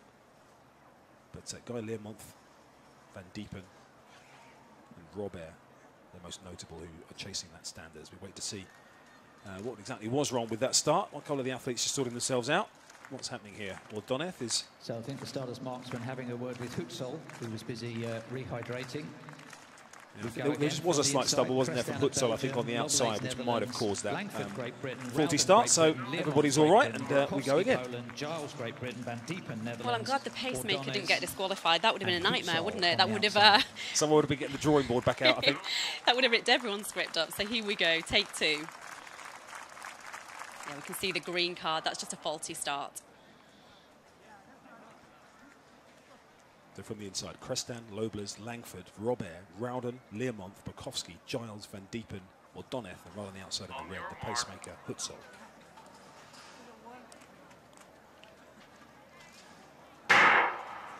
This time they're away. Well, they're away this time. We can see the pacemaker Hutzol. He goes off really sharp on the outside. 50 seconds to 50.5. He's been asked to go through that halfway mark. And we've been told that he's trying to get to 500 metres. And he just glances on the inside there, checks that he's not cutting any of the athletes up behind him. Oh, and he's got some five metres on the rest of the field as Tony Van Diepen moves up into second place there, followed by Rowden, Ordonez, Giles, and it looks like it's gone off at a good pace.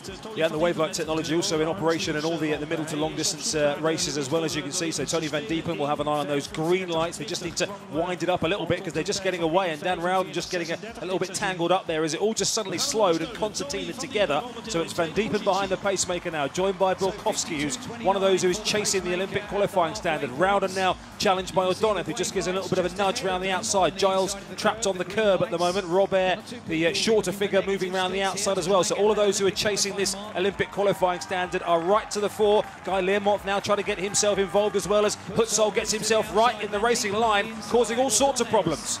Yeah, I just don't know when he knew how to actually get out of there. But Robert it is who's gone to the front, and it's quite a slow time at 600 metres, 126. I think back to Max Burgin in Ostrava, he went through in 116. So no Olympic qualification standards on the line for this one. But Borkowski is at the front from Robert. Daniel now in third place, and as Elliot Giles comes on the inside, not much room. What can he do? Borkowski is holding on to it. Robert working really hard, and Borkowski is from Robert, from Giles, from Rowden in fourth place, and I think it was Langford who came through in fifth place. Well, I don't know if there's a better way to describe that than what a mess. That was such a messy race, wasn't it? All over the place, really. They stumbled around at the start, went too slow. The pacemaker got himself, Hutzol, in a right old tangle, ended up getting in the way. Athletes were slowing down into a group, then clipping each other, trying to get out, nudging each other. And in the end, you've got to say, when they slowed down down the, uh, coming onto the second lap, they've blown it, haven't they? Because 145.2, the way that slowed a couple of times, looking at the times they've come through in, surely a couple of the leaders there could have got through quicker. Well, I was just watching the face of Robert, the, the French um, athlete, and uh, he kind of shook his head. And you know, Giles was in agreement. What was that about? I think when you've got a field of this quality and people are chasing qualification times, half of the field, and the other half of the field are just trying to race each other. It was just a mess, and I watched Langford actually after he finished, and he looked down at his hand, and I think he's covered in blood. He's got spike marks, so that shows what a scrappy race it was. And yeah, with that sort of field, we were looking at that world lead uh, list and thinking that some of these athletes were going to get up into it. But this is a competitive sport; it doesn't always happen that way. So uh, quite a surprise result, maybe. Um, a lot of these athletes might walk away from that thinking, what was that about? But this is what happens at championships. You know, it was one of those tactical races and uh, lessons learned for a lot of the athletes, I'm sure. Well, there was 10 in that, 11 if you include the pacemaker, Jenny, and that, that will beg the question that in an 800 metres, which as we always know is a burn up, and there's always a bit of bumping and barging, is that too many? Is that too difficult for athletes when you are chasing a time? If it's a championship race or other things where getting across the line first sometimes, it's all about tactics and, and where you get yourself in the field. But when you're chasing times, is that too many people? Yeah, maybe when you're chasing times, you know, when I was uh, in a field, you'd never want more than more than 10 in a race. But, uh, you know, this is what you get. A lot of athletes, they're high up the world rankings and they all wanted to be in this race. It's an historic event, like we say, and this is our final result. So maybe a surprise winning time, 147.02, but it was Borkowski from Poland who took it, from Benjamin Roberts from France in second place, and Elliot Giles, a season's best. It was his opener. I'm sure he'll improve on that many, many times as his season progresses. Yeah, from a British point of view, the one athlete who just isn't really making the forward progress that he would need to at the moment is Guy Learmonth, isn't he? He's just at the moment finding himself sort of fourth, fifth in the, uh, the, the, the, British pecking order there and finishing down the field in a, a time that we know he's capable of, of, better. But certainly when you look at the men's 800 from a Great Britain point of view, just because there were four athletes from that country in the uh, in the field there, with the likes of Rowden, Giles and Langford all having the standard, uh, and maybe Learmonth to still play a part. Jake Wightman, of course, goes later. He's specialising in the 1500. Anyway, back to the pole vault. This is Thiago Braz, the Olympic champion. And this is failure, unfortunately, from Thiago Braz. That was at 5 metres and 62. So uh, another man who is uh, who's a surprise winner, of course, of the Olympic Games in uh, his home country of Rio, looking to work himself back into some kind of form. Training partner of Ernest Obiena, who's also in this field, the Filipino. Having passed the first couple of heights, Thiago Braz, that was a first-time failure at 5.62 for him. We talk about that race being busy and lots of uh, lots of athletes in it, and, and, half of the time it is because it is such a popular meet. Everyone wants to be there, and as you said earlier, meet directors sometimes find it hard to say no. But the 1500 metres later is even busier. There are 18 in that, including the pacemaker. Here's Rutger Koppelaar in the uh, the pole vault, one of those who needs the Olympic standard of 582. This is 562, and that's good. And look to have a bit to spare there. First time over at 562 from Rutger Koppelaar. Yeah, that was a great clearance, wasn't he? He's got a season's best of um, 5 metres 70, a personal best of 571, so he's right up there with what he's done before. And the next bar height will be 574, so that will be a personal best if he can clear that one. Yeah, as you say, 571 is his best from Belgium uh, a couple of years ago. He's in and around that this year with, with 570. I know Vloon uh, of the Netherlands failed once at uh, 5 metres 62 as we move back onto the track. And another of those who has been at the top of her game this year goes in lane 5. The world leader, Jasmine Camacho Quinn of Puerto Rico. Megan Tapper on her inside and uh, again a strong Netherlands representation as you'd expect. Negen atletes aan u voor. Again, we see the flags in the background there in the uh, Fanny Blankers-Koen Stadium, just fluttering. The 200 metres had a, uh, a, slight tailwind of 0.6 metres per second as we meet Eefje Boons, the four times national champion of the Netherlands, who's currently outside the top 40 in the Tokyo rankings that she would need to have a chance of going to Tokyo. Cyréna Samba Mayela of France making her outdoor season debut. En dan in drie kansen richting de 13 She's a uh, 1273 athlete at her best. Zoe Sedney, the teenager from the Netherlands, who's uh, set her personal best this year. She's just outside the world rankings as well. Her older sister Naomi is also in action later on in the 100 metres. Megan Tapper of Jamaica, who's one of the two athletes who does have the Olympic qualifying standard of 12.84, Pan American bronze medalist. Camacho Quinn, though, that 12.32, she ran that back in April, in the peak of the warm American early season, ran that in Florida, over in Europe now, testing herself against uh, some of the best.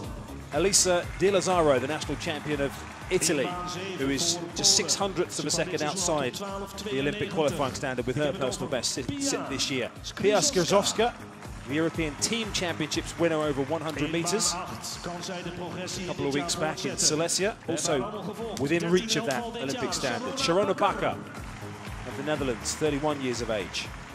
En in 9 haar zuidenbuur. De Running the outside, Anne Zagré of Belgium, who is ranked 35 in the Tokyo rankings out of 40 places.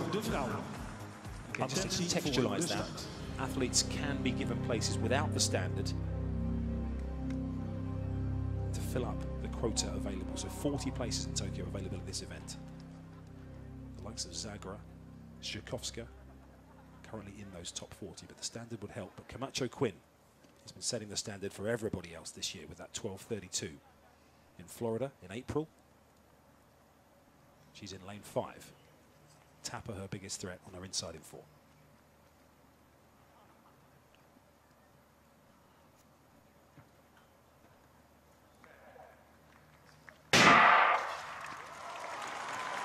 Pretty even at the, uh, the first hurdle.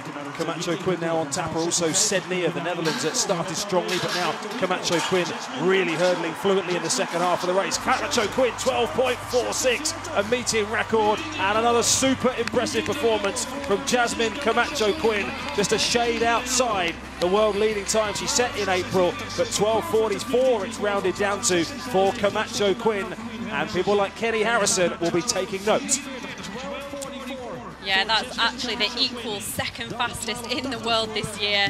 Only herself has beat that and uh, a meet record as well. And we keep saying about the history of this meeting and something interesting is happening further down the field. I'm sure we'll get to find out really quickly. Uh, the Polish athlete, a personal best, 12.80 seconds and really significantly under that Olympic qualification. But here's Jasmine again and it really was from hurdle three that she powered away from the rest of the field. Such great flat speed between the barriers. Well, these are great head-on shots. The concentration, the speed over the barriers, and that brought her home, and she was really thrilled with that sort of time. Maybe she thinks over in Europe the weather's not quite as good. So 12.44 unbelievable when you actually look down in statistics. She's only, I want to say only, ranked world 22nd in this event, which shows how much she's improving in 2021 and she'll be shooting up those rankings as every single meeting progresses. Wind was uh, 0.5 metres per second behind them there, a tailwind, but as you mentioned, Jenny, Pia Skrzyszowska of Poland, that personal best of 12.80, that is an Olympic qualifying mark for her as well. And agonisingly for Elisa Di Lazzaro, who ran very well on the outside of Camacho Quinn for a long way, unfortunately uh, finishing in 13 seconds flat. But Zoe Sedney, again, a good personal best for her, 13.02, just 19 years of age. And that she was 45th in the rankings out of the 40 places, so that might help her nudge up uh, a place or two towards that top 40. Thiago Braz then in the men's pole vault. God, we've seen some excellent performances, haven't we? Goodness me, today already. Thiago Braz, 562, and he is over the second attempt. Joins the likes of Ben Broeders, who's also over at 562, and minus John Obiena as well. Attentie voor de start.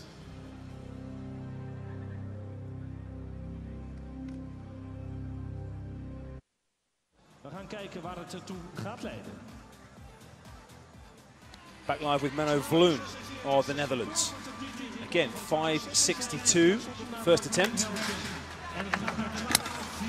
The height, did he? Then came down too steeply, so getting his centre of gravity in the, the wrong position. 1280 Pia Skrzyszowska en 13.00 voor Elisa bar, unfortunately, until uh, the last moment. voor Zoe Sedney. En uh, wat doet ze het goed? Iedere Well, he gave that bar a right clatter. He's a really Bakker eindigt in muscular athlete, and uh, yeah, that bar came absolutely crashing down to the mat, didn't it? So that was his second attempt at 562. So have one more attempt um, at that height, unless he chooses to pass and uh, go to 74, which will be the next bar height. Maar Zoe Sedney komt heel If you're just joining us, we've already seen a world record today here at the FBK Games in Hengelo in the Netherlands, set by the home favourite Sifan Hassan, who took over 10 seconds off the women's 10,000 metres world record, which had stood since 2016. She ran 29.06.82, closing in a 245 kilometre to add that world record to those which she uh, already owned. She owned the one mile world record, she owned the one hour world record, and now she owns the 10,000 metres world record to go with her world title. So business time here for Menno Vloon, the Dutch favourite, who we mentioned was in excellent form with that 596 indoors earlier in the year. He now has got to go over this, third time of asking at 562 to stay in the men's pole vault competition. 562.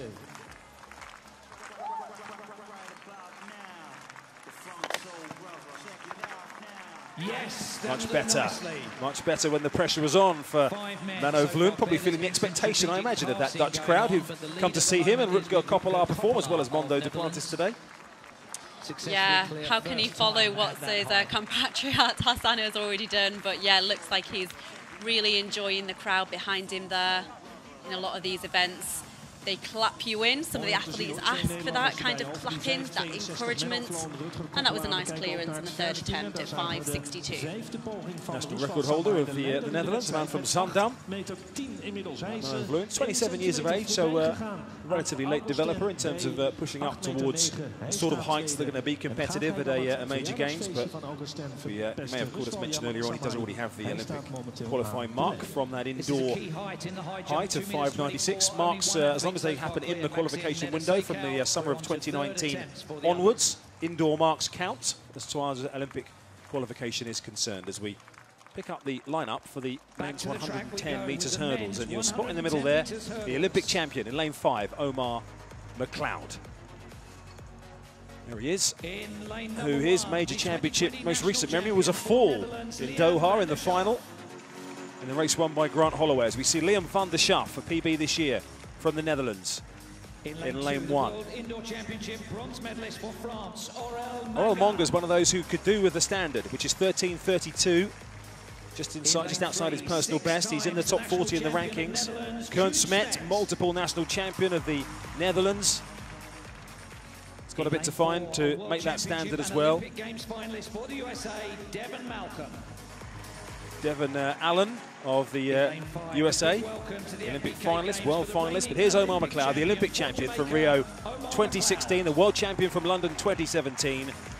Ranked number three this year behind Grant Holloway and his compatriot Rasheed Broadbell. The European indoor champion is Wilhem Belocian of France. This is his outdoor season opener. He has the standard uh, as well as Belocian. Milan Trajkovic, again, major championship finalist at the Worlds and the uh, Olympic Games. He has the standard as well. The national record holder of Kuwait, Yaqub Al Yuha, is in lane eight, also making his season opening performance today. And David King of Great Britain. David King. Hails from uh, Plymouth in the West Country of England, but racing for the Phoenix Track Club. He's the European Team Championship silver medalist from a couple of weekends ago. He needs the standard as well of 13.32. Omar McLeod. You've seen Grant Holloway in terrific form. The likes of Daniel Roberts coming back to form as well. 13.23 Roberts ran last week. As I mentioned, his compatriot Rasheed Broadbell has been laying down excellent times as well. So Omar McLeod in Europe to show his rivals what he's got in the defence of his Olympic title in a couple of months from now. Van der Schaaf on the far side, Monger in two, Smet three, Allen four, McLeod, Belocian, Trajkovic, Aluha and King.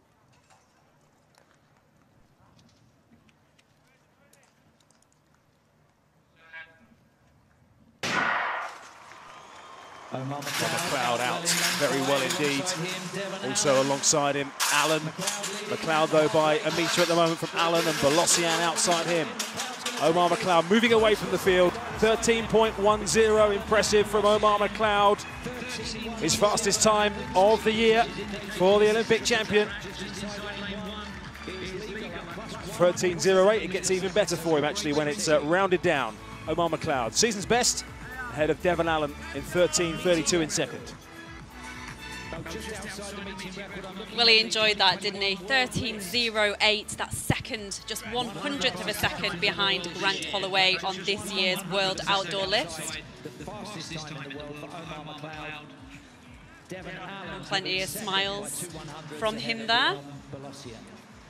So just looking down the list, Devon Allen in second place, 13.32. And it was Belocian from France who got a season's best of 13.34 in third so place. Really tricky in the high jump. Nobody successful. Koen Smet there celebrating a uh, PB as well of 13.50. Uh, taking away a mark from about three years ago, but as we see the uh, the repeat, the, re, uh, the rerun, Omar McLeod is at the first hurdle first, and when he clipped it, never really looked back from there. No, he didn't. And I remember Colin Jackson um, always saying, you know, try and get to that first hurdle in first place. And he got there by a stride, didn't he, already in that short run-up. And he just ran away from the rest of the field. You can hear all the hurdles clattering behind him. He touched a few, didn't he? But uh, none seemed to land on the floor, which was significant. And uh, yeah, 13.08. He's really pleased with that. That's three hundredths of a second faster than what he ran in California last month. And 13.08 again, probably all the more impressive for the fact he wasn't really pushed there either by uh, anybody. Devon Allen, 13.32. Uh, There's a, a, large raft of American high hurdlers who've got the Olympic standard, so the uh, US trials are going to be fiercely competitive as they are in so many events. But Omar McLeod, 13.08, right on the coattails of Grant Holloway, as you say, Jenny, on this year's world lists. Well, these spectators have um, been treated to some great performances, haven't they, already? And we've still got over an hour of action to come from this meet. Lots going on. We've got the men's pole vault going on. We've got the women's discus due to start shortly. This looks like it's the men's high jump, and we've got the men's long jump as well. This is the men's high jump. This is Maxim Nedasekau of Belarus, the European silver medalist from 2018. Recently won the European Indoor Championships in uh, Torun. So recently, we're uh, going back a few months now.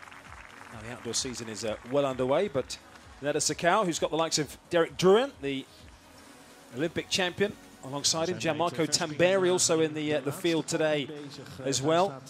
Brandon Starc, experience of uh, Donald Thomas, the up-and-coming Belgian Thomas Carmoy as well. Also jumping today. Well, we're back to the track, and the men's 800 metres was absolutely full of drama earlier on. A very, very messy race. What will the women's 800 metres throw up for us? Well, less drama, hopefully, Chris. I don't know if our hearts can take it. Uh, yeah, such a messy race, that one. But uh, this is another quality lineup in the women's 800 metres event. We'll get to see the competitors soon. But another busy one. Lots of uh, athletes sharing lanes, as we're used to um, on these high-profile meetings. This is Saka on the outside. She'll be taking the pace.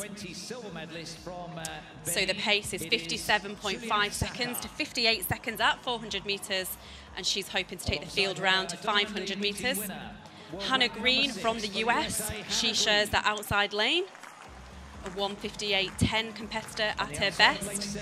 Ellie Baker, this is an athlete who's had such a breakthrough this year just four hundredths of a second, agonising four hundredths a second outside that Olympic qualification. We say there from Australia.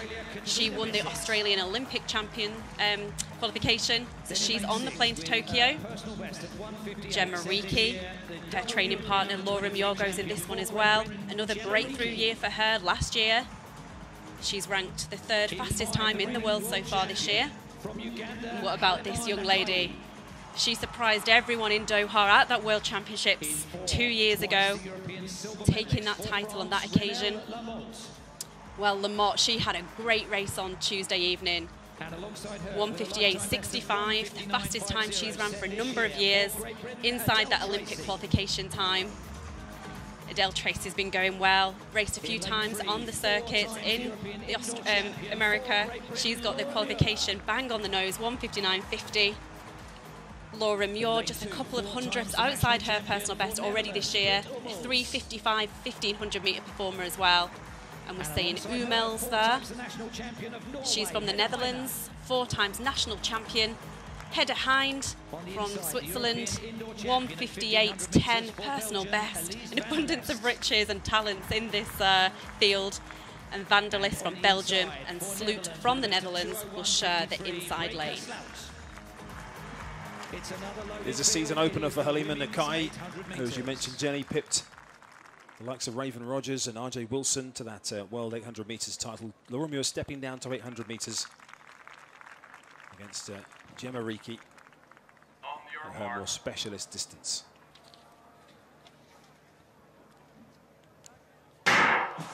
Pacemakers are on the outside. Well, the pacemaker Saka, 57.5 to 58 seconds. She's been asked to go out in, and I can see that uh, Gemma Reekie started really well there. And Laura Muir, we don't normally see Laura starting very fast. We're normally used to Laura making her way through the field. She normally comes on the home stretch on that first lap after around about 300 metres but she's got herself out there in fourth position so far. And it's Reekie, Lamote, Baker. Baker needs that Olympic qualification time. She's not here to hang around.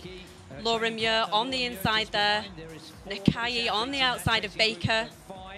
And I always know the time, around about 300 metres. I think the following pack looked like the more 58 to 59 seconds actually, rather than that 57.5 to 58. So is this going to be a messy race just as the men's? And I'm going to say perhaps it is. Well, 59.18 seconds. It looks like this is one of those races where all the athletes are just trying to race each other rather than go for those times with 300 metres to go. It's Reekie from Lamote, from Baker. She doesn't want a tactical race. She wants a fast one and 300 metres to go. Britt Ummels of the Netherlands just on the outside in the purple. Adele Tracey now right on the left of shot trying to make some progress as well. Laura Muir just tucked in behind traffic at the moment. Ellie Baker uh, trapped, trapped on the curb as well. Hasn't got herself in a great position, but it is Gemma Reekie as we like to see, uh, as she likes to see herself leading from the front. Rénelle Lamote, as you say, has been in excellent form. Ellie Baker running well after a very busy schedule. Ummels, Tracey Muir, Nakaayi still tucked in mid-division. The World Championship presses go and switches to the outside, Nakaayi.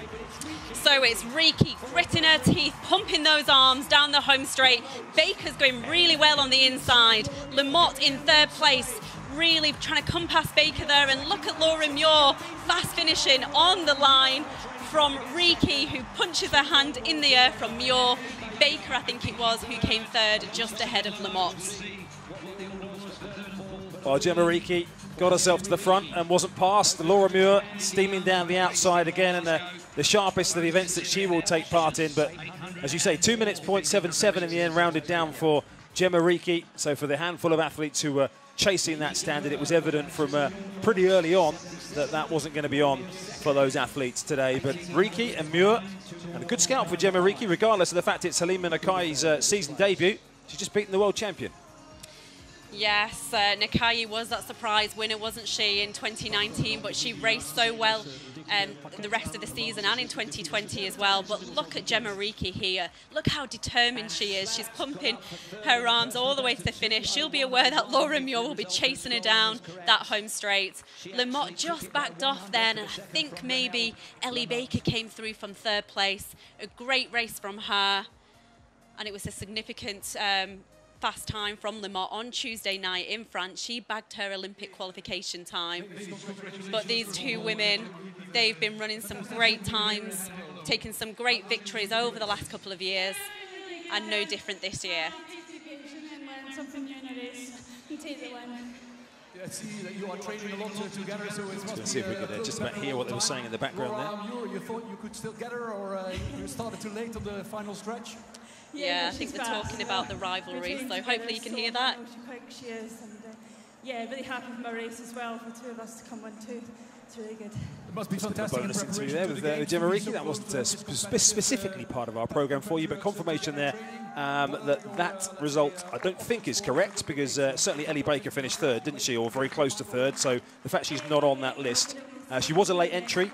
Uh, stepping in, I think, for, for Keely Hodgkinson, who unfortunately was uh, listed to take part but had to pull out with a, uh, a slight niggle as well. So uh, Ellie Baker will wait for confirmation of her time, but uh, that certainly wasn't the correct result. Below, Riki and Muir, who finished one and two. This is the Olympic high jump champion, Derek Drouin of Canada. It's not Brandon Starc. Here he goes. It's a failure for Drouin at 2 metres 24. Third place, potentially completing a British 1-2-3. in Competition's few and far between for Derek Drouin, who really is working his way back from uh, a long absence. He's only had five competitions since the end of 2017.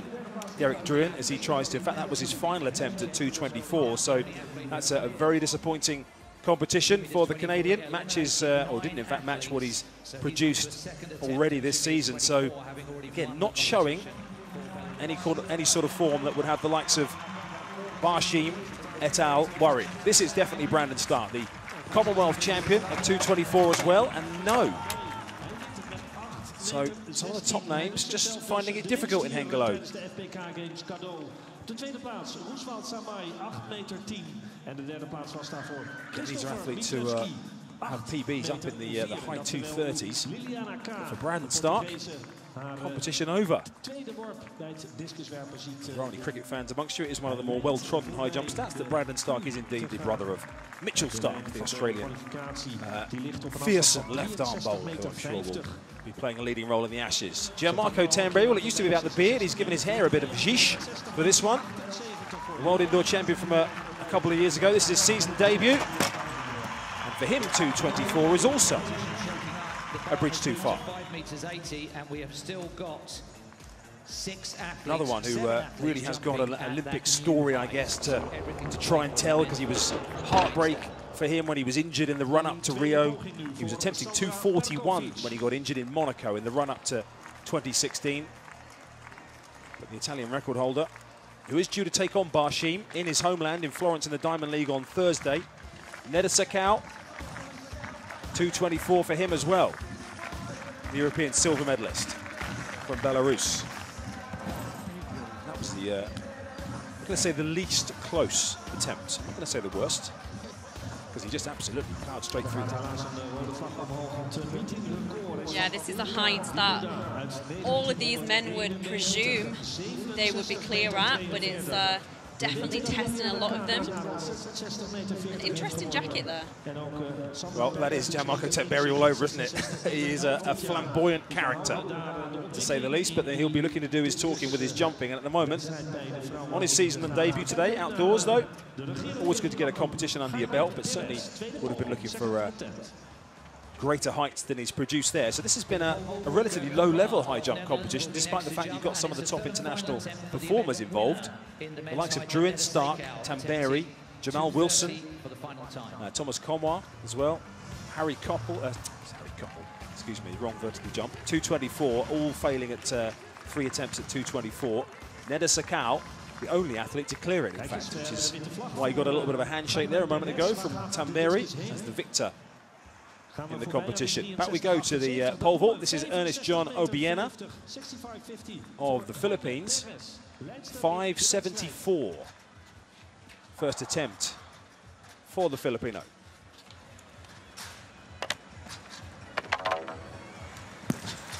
And a good one. So he moves uh, up in the competition. Stand van zaken bij discuswerpen. Eerste ga je met Perez. Seem to uh, be over that pretty comfortably from that angle. Not the most helpful uh, angle from behind to see the clearance of the bar. But Obiena over 574. 46 is de nummer 3.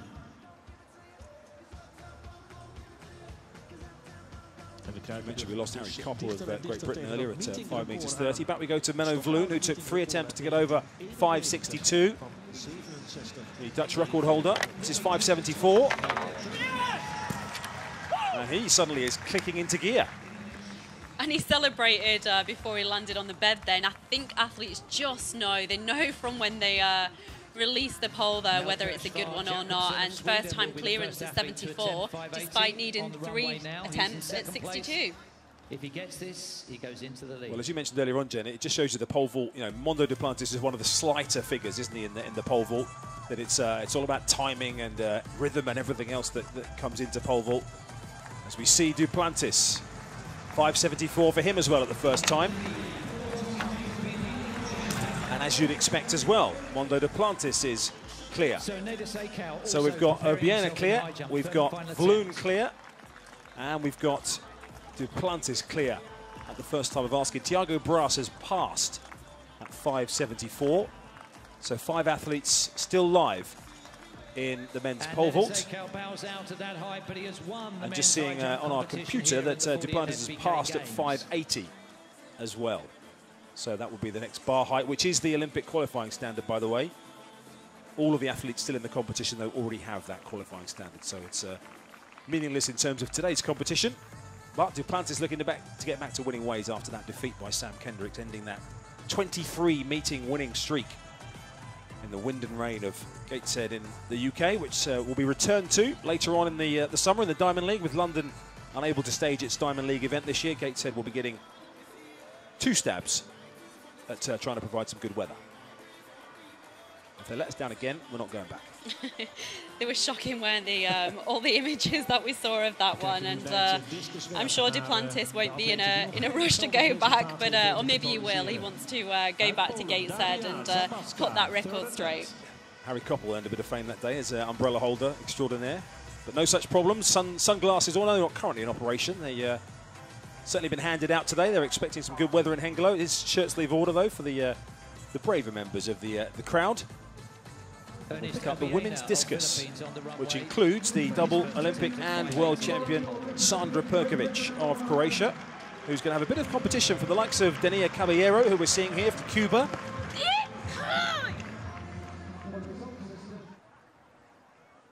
And that uh, very helpfully labelled Q line is at 63 metres and 50.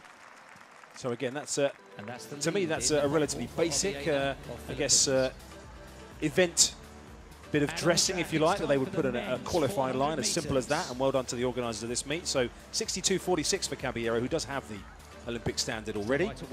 But Starting 63.50 is where that uh, is at. Sandra Perkovic uh, has fouled on her first couple of throws, actually. So uh, yet to register a mark. The leader is, at the moment, Yaime Perez of Cuba. Men's 400s next, though, on the track. As we meet on the outside, first of all, the Swiss athlete, Ricky Petrucciani. Multiple national champion of Switzerland. Said his best a couple of weeks ago in Germany of In lane seven, the 45.9. double Here's another of the British athletes who's got some work to do. Matthew Hudson Smith, a European champion. As you can see there, world ranked 13, but well below that In lane in six, most of his races so far this year. the 4x400 meters for Needs the standard. Jochem Dobber of the Netherlands. Popular character, regular in their successful relay squads. What about this guy? Fred Kerley, world bronze medalist over 400 metres in Doha. Been tearing it up over 100 metres, running In lane four, 991. European Championship bronze Lost to Michael Norman recently over 400 metres. So we see Liemarvin Bonevacia of the Netherlands Another one who needs the standard of 44.9. There's a PB under that. Zakithi Nene of South Africa set his personal best of 45.03 this year in his native Johannesburg. He's got to find a tenth of a second. Terence Agard, another of their relay medalists. 31-year-old, 46.94 this year. And on the inside, Karol Zalewski, Poland, who's making his season debut. He'll be a 45.11. So Fred Kerley, the only one in the field with the Olympic standard. There he is. And certainly again, with the likes of Michael Norman and others throwing it down this year. Fred Kerley has certainly caught people's eye with his 100 metre speed over his more natural 400 metres. He's in lane five. Interesting to see what Hudson Smith of Great Britain can do out of seven.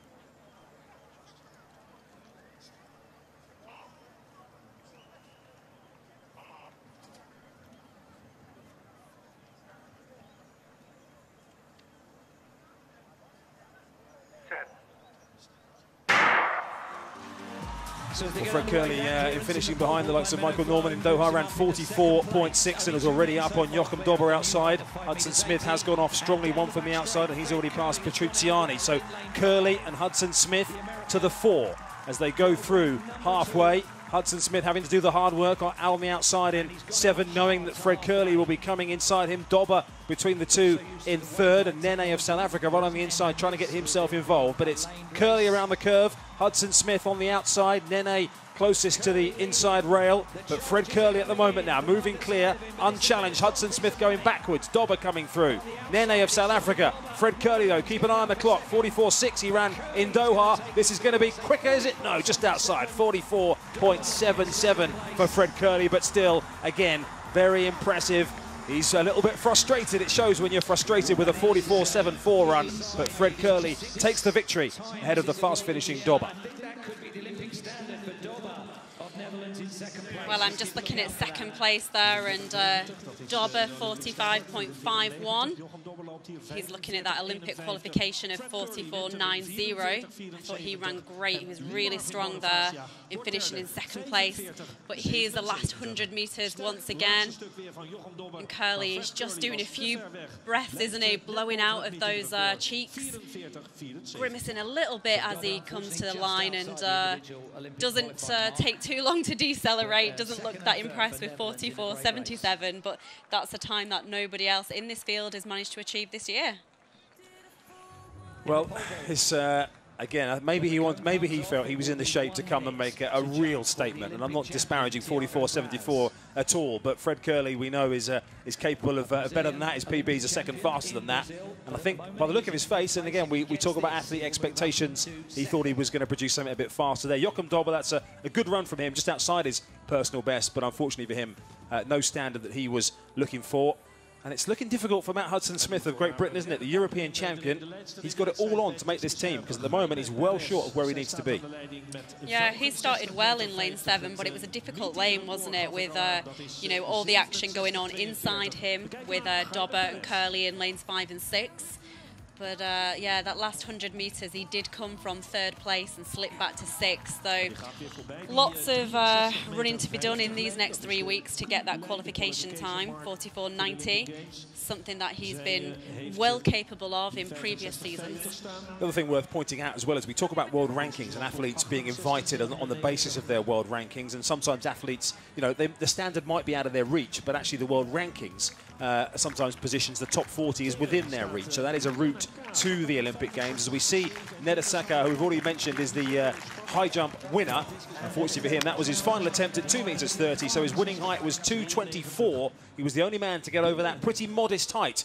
Maxim Nedasekau and the Belarusian takes the victory. But just going back to those uh, the world rankings, Jenny, the other thing to say is that if people are in the top 40 or, or 56 or whatever it is for that particular event, because it's a different number for every event, there's also no guarantee that their national federation will take them. Uh, some, some for financial reasons and for performance reasons. It won't be automatic that if somebody's in the world rankings top 40 and is offered a place by World Athletics, that their country will take them up. No, that's right, and that's happened in previous seasons at different championships. That the World Athletics do offer the places, and it's up to the national federations to decide their policy, really, whether to select that invite or not. Of course, the uh, the much more simple way of getting yourself in is to have the standard, and if, if your country's rules are that you come in the top two, for example, at the uh, the national championships, for which for most countries, uh, apart from those who've uh, already taken place, for example, in uh, Oceania. Uh, the national championships on the horizon now towards the end of this month. Uh, and some very, very competitive national championships they will be as athletes try and uh, get those spots at the delayed Tokyo Olympic Games. We are live from Hengelo in the Netherlands, the eastern edge of the Netherlands towards the German border, close to uh, Enschede. And we move back to the women's discus. And this is Liliana Cá, who uh, has been in good form this year. The Portuguese athlete already has the Olympic standard. She's the fifth furthest thrower this year. Is Cá. This is round three. And over that Olympic qualifying mark that she already has, so that's heading out towards the 65 metre mark for Liliana Cá. Perez of Cuba has got, gone over 65 metres on a couple of occasions today. Sandra Perkovic, the defending Olympic champion, with a couple of fouls. 65.07 for Liliana Cá in round three. That has her in second place overall. The furthest thrower in the year this year, um, on the world list this year, is actually a, a, Dutch athlete who's not involved in this competition. Jorinde van Klinken, who's thrown 70 metres this year. As we see Yaime Perez of Cuba, 65.50 in round two. Can she improve on that? Going to be close again to that uh, 65 metre line for Perez, who threw uh, almost 69 metres in uh, Cuba a couple of weeks ago before travelling over to Europe. The world champion from 2019, Perez. In Doha. Now 65.57, a marginal improvement. She is the overall leader, though, at the halfway point of the women's discus. We stay then over the one lap as we move to the women's 400 metres. Again, some of the uh, regular Dutch one-lap athletes involved in this, the likes of Lieke Klaver in lane four. But we meet, first of all, Lada Vondrova, the uh, European under-23 silver medalist from the last staging of those competitions. Olympic standard in this is exactly on her personal best. 51.35 is what Vondrova is looking for. Lavia Nielsen had a, uh, a tough run in uh, Samorin. She actually didn't finish in the end. She'd been carrying a little bit of a niggle and uh, in the end decided to call that one a day halfway round. So uh, a big test for her fitness-wise today. Phil Healy of Ireland, national record holder at the shorter sprints. She needs the Olympic standard. Personal best this year of 51.50. Cynthia Bolingo already has the Olympic qualifying standard. She set her personal best of 50.75 this week in Montreuil in France.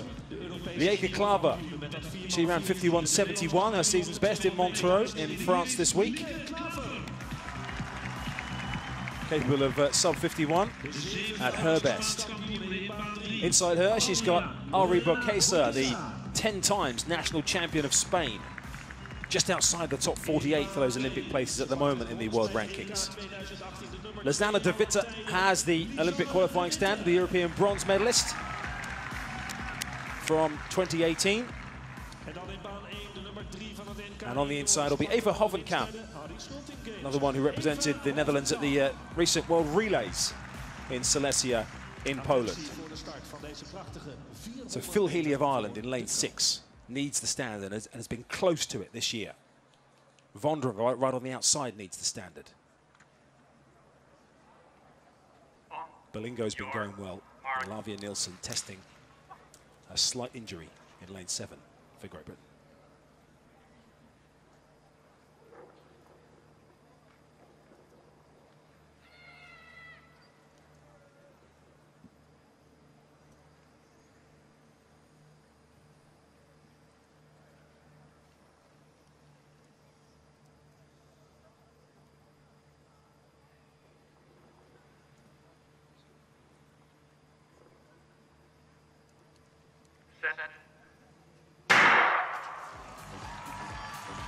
The good thing about 400 metres is you can have a bit of tunnel vision and you can set out to execute your job exactly knowing what you've got to achieve on the day. Klaver already up on Bolingo just outside her. Phil Healy running steadily in lane six through this first 200 metres or so. But Klaver looking strong. Bolingo going with her as well. Healy will start to get going and uh, use her strength in the second part of the race. But it's Bolingo from Klaver at the moment. Vondrova on the outside. Lavia Nielsen also running strongly for Great Britain in lane seven as well as Healy now starts to try and come through. But it's Klaver and Bolingo into the straight who lead. They've got three or four metres on the rest. Healy, Nielsen and Vondrova on the outer lanes as well. Cynthia Bolingo now as Klaver starts to fade. Lavia Nielsen looking really strong, coming down the home straight. That'll be confidence boost for her as they come up to the line. Cynthia Bolingo takes it. Nielsen maybe just with the momentum ahead of Klaver on the line. 51.18 for Cynthia Bolingo. The Belgian takes it. Well, Bolingo will be really pleased with that one. A huge personal best just earlier in this week. And that's actually a second best time she's coming into shape just ahead of those Belgium Olympic trials. And we can just see the caption at the bottom there. Nielsen came from absolutely nowhere, didn't she, with a storm in last 100 metres to overtake Klaver there from the Netherlands by two hundredths of a second. Well, I think Lavia Nielsen will be happier than she looked there on the uh, on the, the, caption because she certainly had some uh, some concerns about uh, this busy spell of competing when you've got a slight niggle, uh, having a niggle in Olympic year. But look how far back she is here and where she comes from in lane seven, Lavia Nielsen. But Bolingo really with with Klaver for company all the way around, but just at the last 50 metres or so, looking strong. And Lavia Nielsen really did make some inroads, didn't she, in those last 20 metres or so? It's a real interesting race to watch because Klaver has the 200 metre speed and she has to go out. She has to get herself in that lactic acid debt. You know, she can use her speed early on. And Bolingo did actually, you know, pace the race a little bit better maybe, but uh, Nielsen, I think the way she finished, she'll take a lot of confidence from that going forward. So uh, fitness test passed, I would say. Yeah, I think you're right. And Phil Healy, unfortunately, 52, 58 for her still uh, remains within agonising reach of that uh, Olympic standard. But yes, Lavia Nielsen, her season opener was in Gateshead at 53.96 in that uh, horrific headwind and conditions of the her second run where she didn't get round. So I think from that point of view, she's got to be really happy with that. Her twin sister, Lina, actually goes in the 400 metres hurdles in our uh, closing event a little bit later on. But excellent performance from Bolingo. As we go back to the pole vault, this is Thiago Braz, the Olympic champion. Third attempt at 5 metres and 80, having passed the previous height, and that is an abort. So Thiago Braz, unfortunately for him, his competition is done with a clearance of 5 metres 62, which has him in fifth position overall. We still have five athletes, uh, correction, four athletes uh, live in the competition, but no longer Braz being one of them.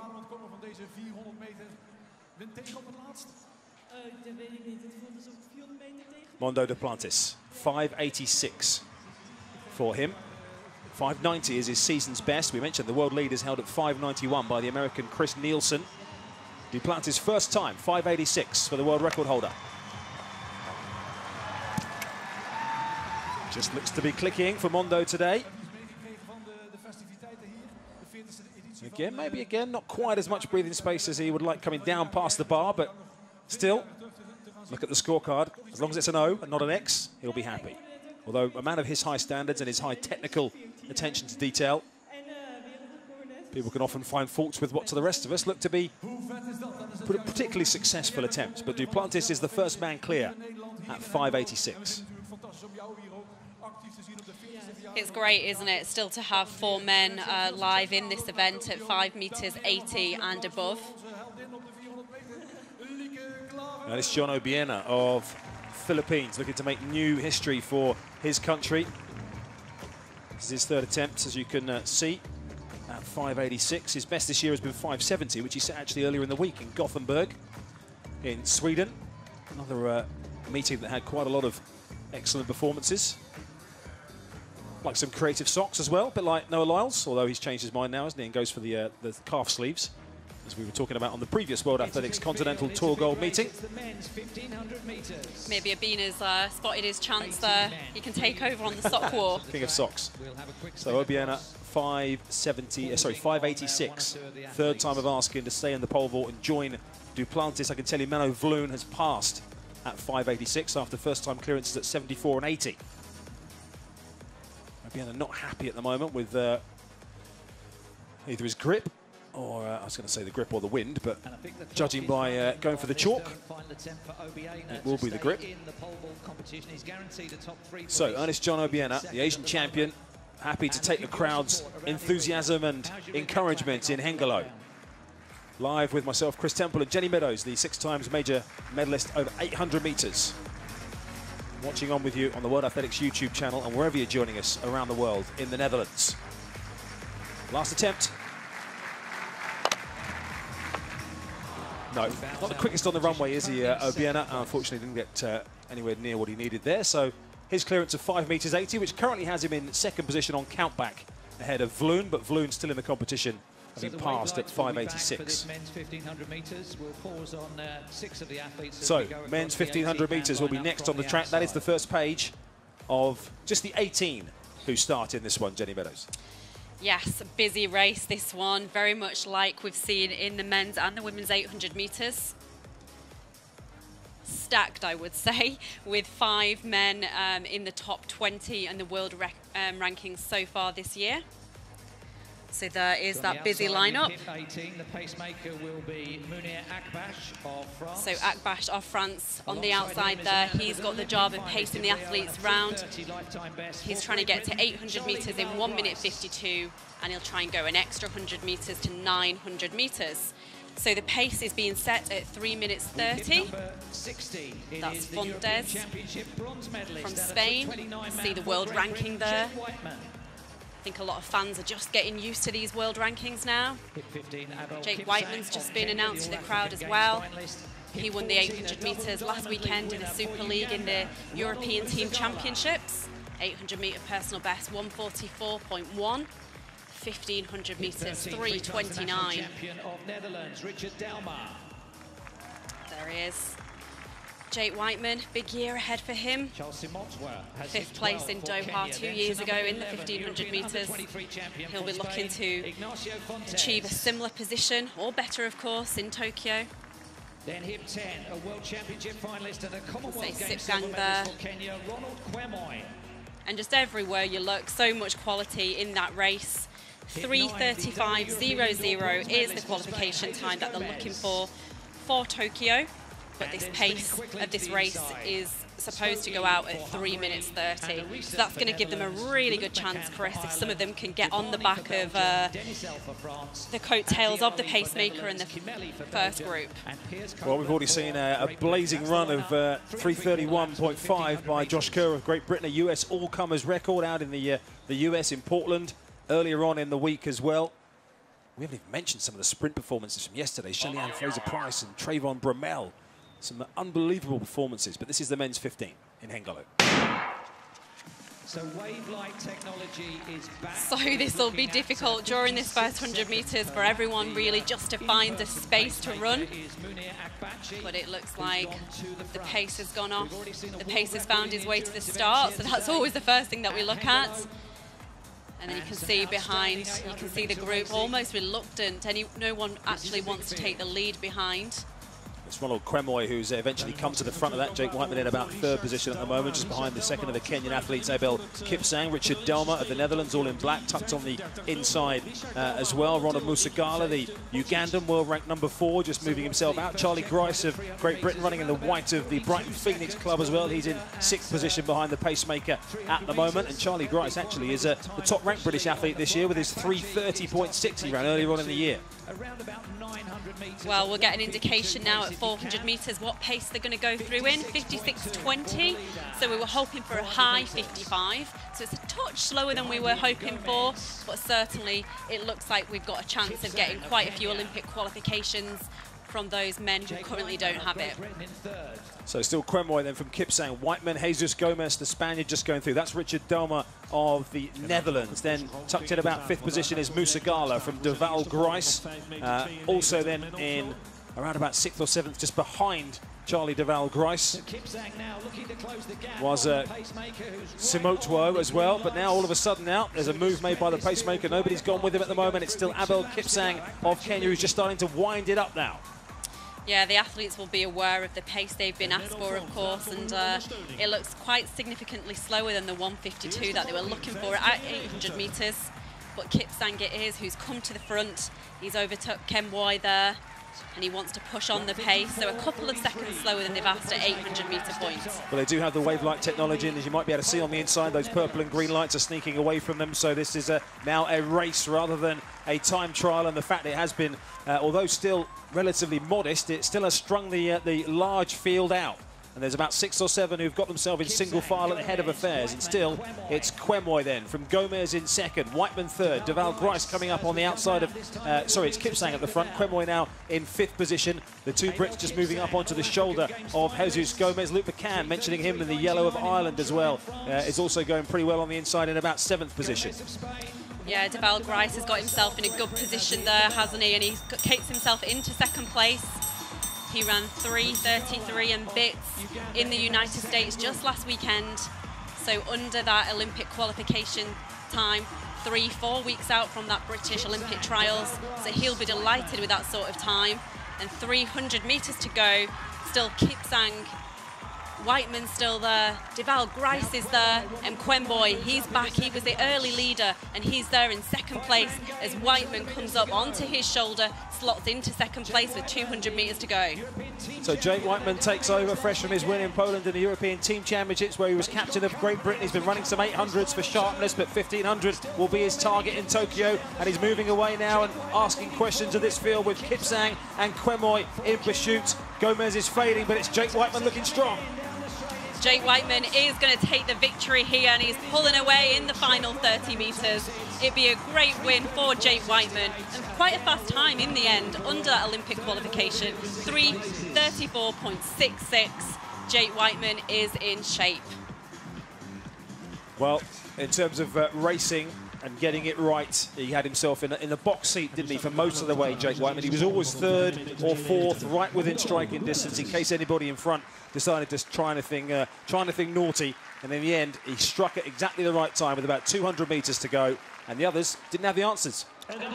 No, and that's the ideal sort of race. If the race goes that way, that's what you'd always like. You don't really like to lead these races. If you can be in sixth, um, you know, in first six positions, I always think if the field are quite tightly bunched like they were, that's always significant. But he really spied his chance, didn't he, to hit the front with 150 metres. And no one really looked like they were going to come past him. And significantly for me, the last half of the home straight, he pulled away again. And that was a dominant victory in the end for Jake Wightman. And you're looking at the, the field he's beaten there. Charlie Da'Vall Grice is a 330 runner. Uh, Musa Gala is a 330 runner at his best as well. We look at Kwemoi, who's a 328 runner.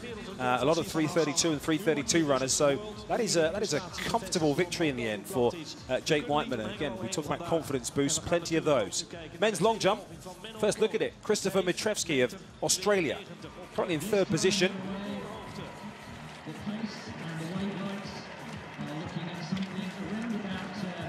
Oh, that looks good. That looks around about eight metres for Mitrevsky, who didn't look uh, massively enamoured with it, but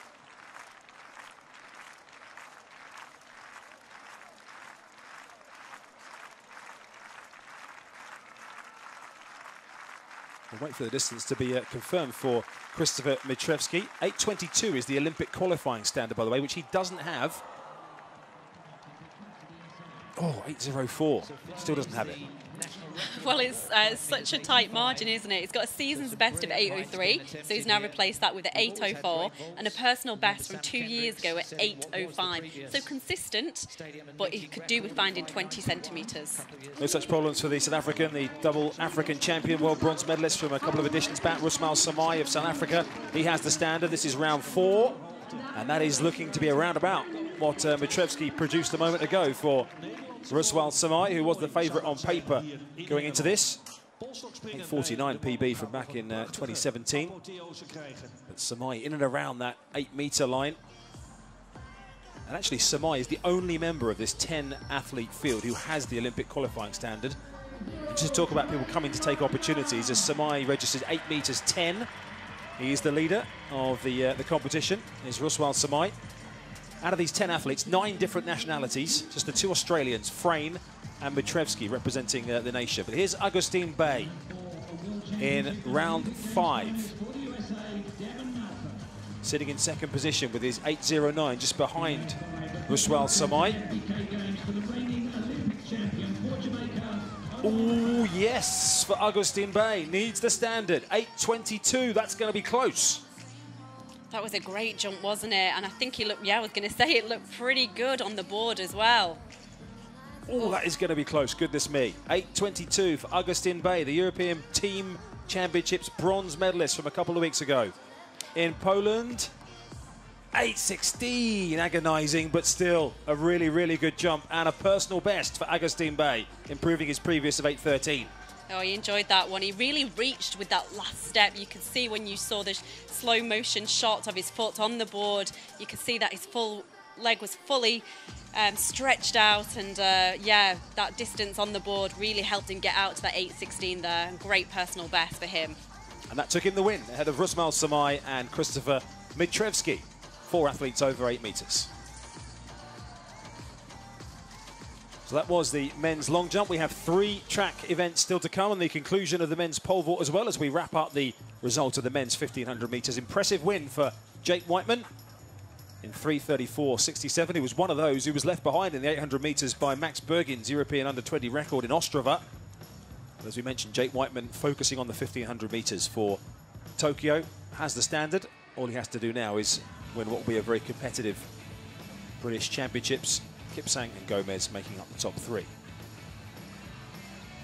So we've already seen the Hup Sifan barriers, or uh, boards I should say earlier on. Now they've uh, starting to appear for that lady. Dafne Schippers, the double world champion over 200 metres, who's opted for some speed work. She's had some back problems over the course of the last year or so, which have just been affecting her start, she was saying. So really the 100 metres, she's been opting to, to run over the 100 rather than the 200 to try and uh, get some speed practice and some starting practice, I guess, under real pressure.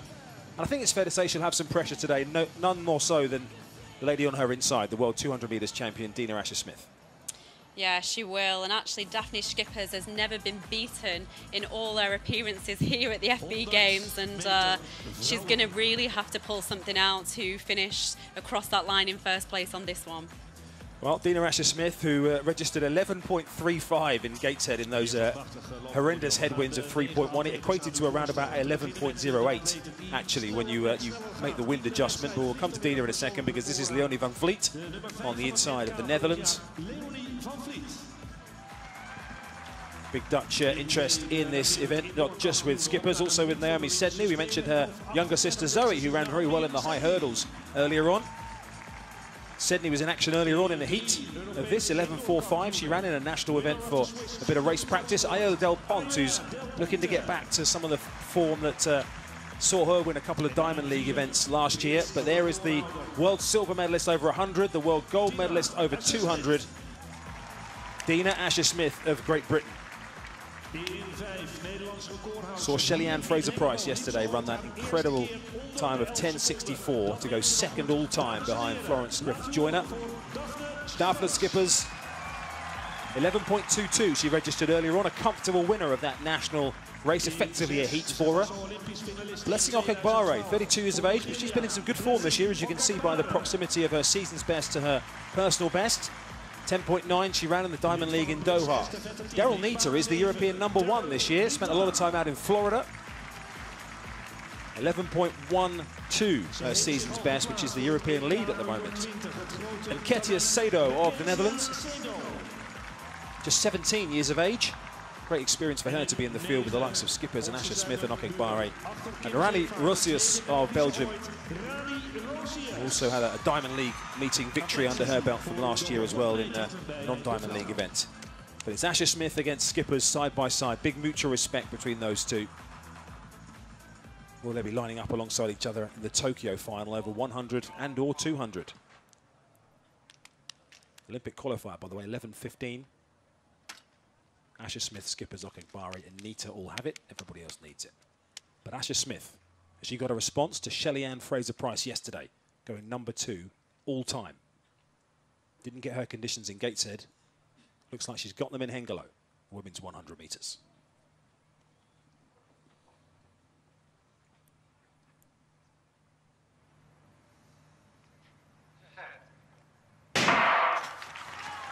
So away you go, Asher Smith is out well, taking Del Ponte with her. Schippers, of course, gets into her running in the second half of the race, but it's Dina Asher Smith at the moment. Okagbare and Neita also running well. Dina Asher Smith up towards the line, 10.93, meeting record for Dina Asher Smith, benefiting from a bit of a tailwind of 0.8 metres per second. But Asher Smith goes sub 11, and things will be back on track after those awful conditions in Gateshead. This time, Asher Smith lays down sub 11, 10.92. It's rounded down to for the World 200 metre champion. Well, Dina Asher Smith had a very low-key 2020.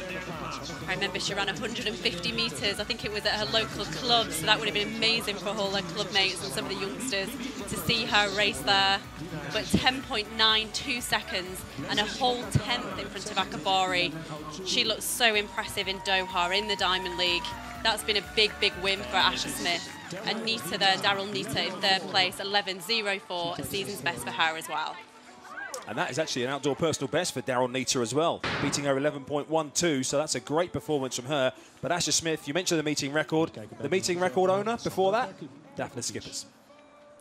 Well, looking at Dafne Schippers there, she's on the ins, she's between the two uh, leading athletes there, and I thought she ran great. I thought she ran great in the national race earlier. A lot of pressure for her to come in when she's not quite at her best. She's definitely getting back towards that.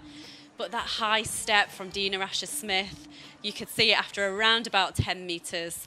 And the victory was uh, never in doubt, really, after that first 10 metres. 10.92, making sub 11 seconds. Look easy, meet in and meet out. Great start to the season for her. Good race for Great Britain, first and third then. Sandwich with Blessing Okagbare, who continues to be uh, in and around the 11 second mark. But Dina Asher Smith responding, if you like, to Shelly Ann Fraser Pryce and the likes of Sha'Carri Richardson, of course, still doing their thing in the Diamond League circuit as well. But this is Mondo Duplantis then in the pole vault. 592. And goes over at 592 again with some comfort. It was, wasn't it? And I think 92, the bar was set at that because that's a meeting record. So, you know, in this past two hours, we've seen so many meeting records. 40th edition of the FBK Games. And if you think about the athletes who's competed over the years, this is one of the most stacked fields that we've ever had in every single discipline. So meet record 592, but how much further can he uh, bring that meet record up? Six metres will be his next bar that he attempts. That's also the world lead for Duplantis, who goes above Chris Nilsen's 591. Menno Vloon at 592 as well. He passed at 586. Ooh. So, end of the competition for Menno Vloon. That was his third attempt at 592.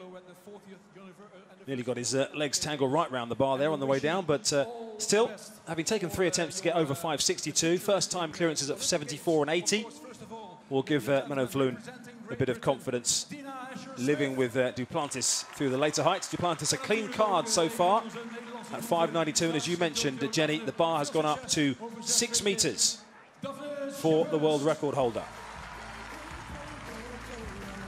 It's world record mark, if you're not aware, 6 metres and 18, set in Glasgow. The World Athlete of the Year from a male point of view. He's got the victory already in his back pocket now, and now we're heading up towards some of the glory heights, I guess, now. Pressure free, 6 metres, Mondo.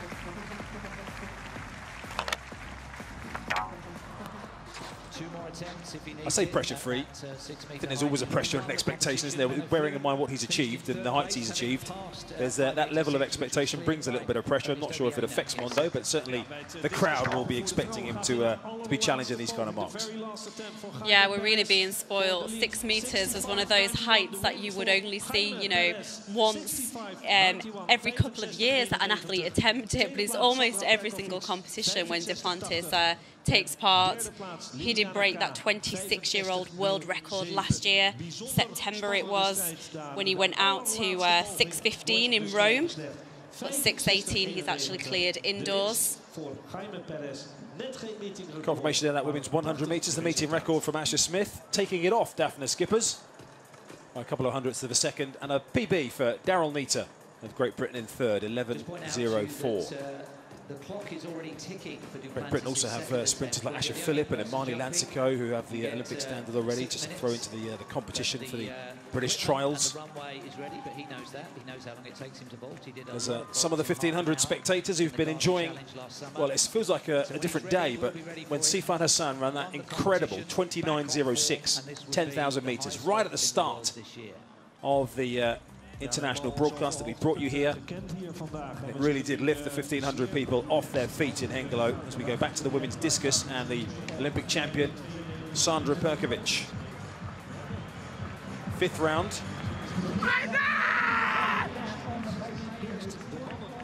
And around about that 65 metre mark again that we've seen from a couple of her rivals, the likes of Perez and Saar as well. Has had a bit of a rhythm issue in this. The three of her first uh, four attempts were fouls. We hebben een wereldrecord. Wait for the measurement for Perkovic. 65.80 in round five. Not enough for the. In fact, it is enough for the lead. Sorry, Sandra Perkovic takes the lead. 65.80. Zo direct. In round five. En die eh, geweldige 400 meter. So she's taken the lead with that throw from the world champion Jaime Perez of Cuba. Looking to stretch that 65 metre line up towards 66. Again, that's in the same sort of area, isn't it? So that's going to be close to 65.80. She's produced a very consistent series. Got her first one wrong, did Perez at 55 metres, but everything since then has been a 64 or 65.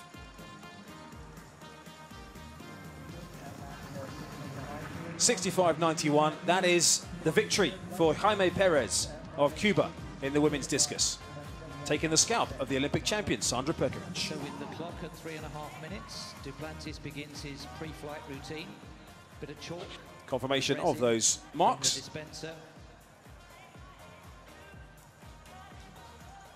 Olympic qualifying standard, by the way, 63.50.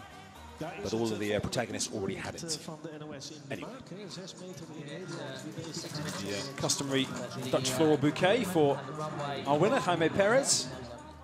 On the track, we still have voor Mondo. certainly one of the events that uh, I know the local crowd will be looking forward to, which will be the appearance of Femke Bol in the women's 400 metres hurdles. Before that, the men's 400 metres hurdles. You can see the barriers laid out at the Fanny Bankers Blankers Koen So the Stadion in the eastern Netherlands, and that will be your lineup for the men's 800 metres. And the standout names are on there. Certainly, Abderrahman Samba, the world bronze medalist from 2019. Sibilio on his inside has been running well this season. From his context, anyway, the young Italian. But here, before all that, is Mondo Duplantis. Live pictures of his second attempt at six metres.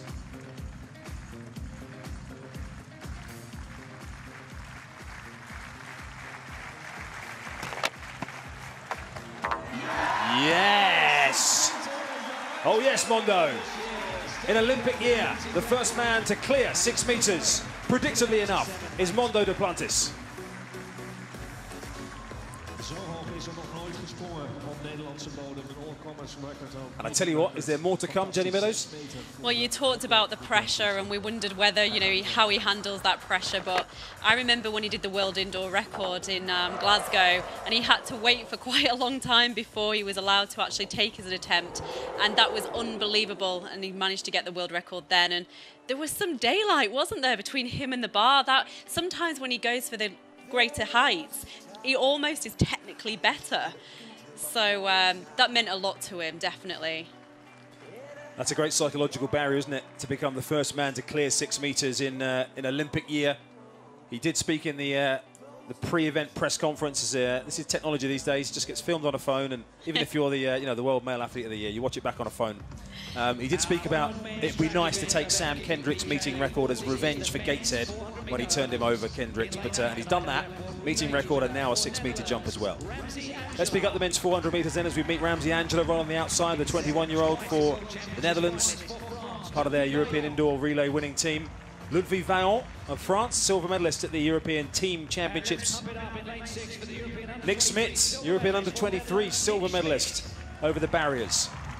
Again, running well, ranked 32 out of the top 40 in terms of the Tokyo rankings. Doesn't have the standard so far, which is 48.9.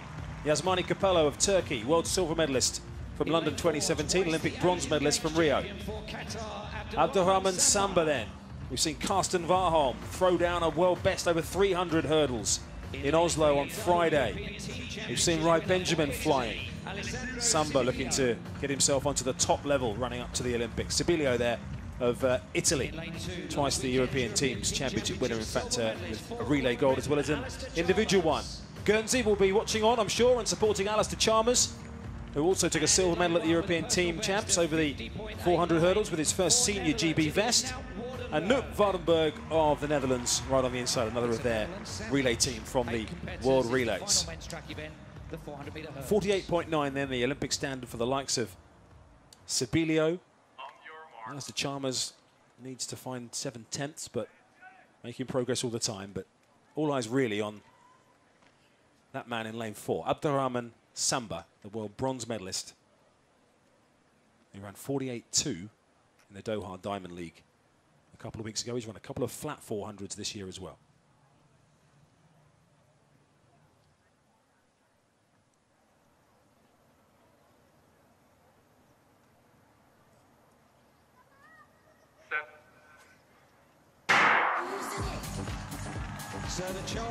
So away they go then. Keep an eye on the orange of Copello on the outside of Samba, who will keep him in his sights. Vaillant of France, one from the left of your camera shot there, is also going strongly through the early stages and may just have risen first at that barrier. But now Samba starting to make his presence felt on Copello around the outside. It is Samba at the halfway point at the moment now. They're towing Nick Smidt outside them along, who's running strongly as well.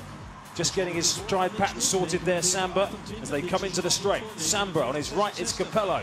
Smidt holding on to the top four. Vaillant of France there as well, but now Abderrahman Samba opens up a bit of clear water, but Copello is not going away at the moment. Samba over that final barrier and away. Copello keeping him up to his work, but Samba takes it in 48.58 in the end from Copello coming through in second. And the W for Abderrahman Samba, with no great shakes on the top. No, 48.56. Uh, Samba has run three tenths faster than that so far in Doha in the Diamond League just uh, last week. But that's still, there's only himself and three other men who's run faster than that time that he's just recorded there today in Hengelo. So very consistent, mid 48 seconds. Just getting to see here, and it was nice to see Copello back, wasn't it? He had the unfortunate position of um, having Samba on his inside, so he saw him come past him on the back straight. But I thought Copello did really well on that bend there and into the home straight. Samba didn't run too far away from him, and Copello with a few more races in those legs. They're tough, these 400 metre hurdle men. I think he'll come good in the next few weeks. Well, it was a good run from uh, Nick Smidt of the Netherlands as well. He finished in uh, third place in 49.43. Unfortunately for him, half a second outside of that uh, Olympic qualifying time. But as you say, the strength, the 400 metre hurdles, guys, we see the, the likes of Warholm, who's keeping his cards close to his chest at the moment in terms of the full distance and the barriers. But a couple of flat 400s for Samba, followed by a couple over the barriers, just building that race strength, ready to peak at the right time certainly there today. Comfortable winner really in the end from Copello. So just to put this in uh, good conditions.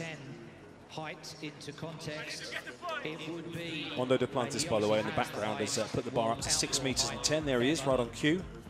Six meters and ten centimeters uh, for Duplantis. That's Sam Kendricks in third. So a great height. The clock has started getting himself ready. Gets a bit of extra time by the fact that he's the only uh, competitor left in the competition. So although his jump clock is running, it's uh, by the time he's the, the, last man left in the competition, there are several minutes on that uh, on that jump clock. We talk about uh, the lady marks in the, uh, on the all-time world list. This would be the third best outdoor jump ever, behind his own 615 that you mentioned, Jenny, in Rome last year. Bubka the great Sergei Bubka at 6 metres 14. They are the top two on the world outdoor list. So as soon as the pole comes down, let's this would be up, uh, an attempt at the all-time number three jump. Follow his lead. Here we go. This rhythm.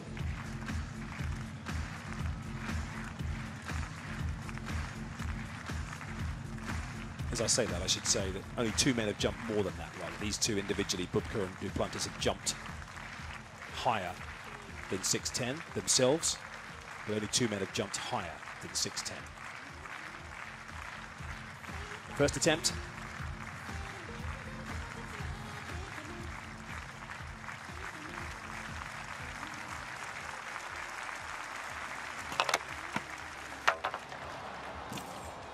Well, he said in a press Not today, uh, so far. Attempt one. Diamond League that Renaud Lavillenie, of course, jumped leads 6'16 around where he's indoors. Two more attempts at uh, 6'10 Talking about outdoor marks here at 6'10. Well, you can see his run up there. It started all the way in the actual high jump fan.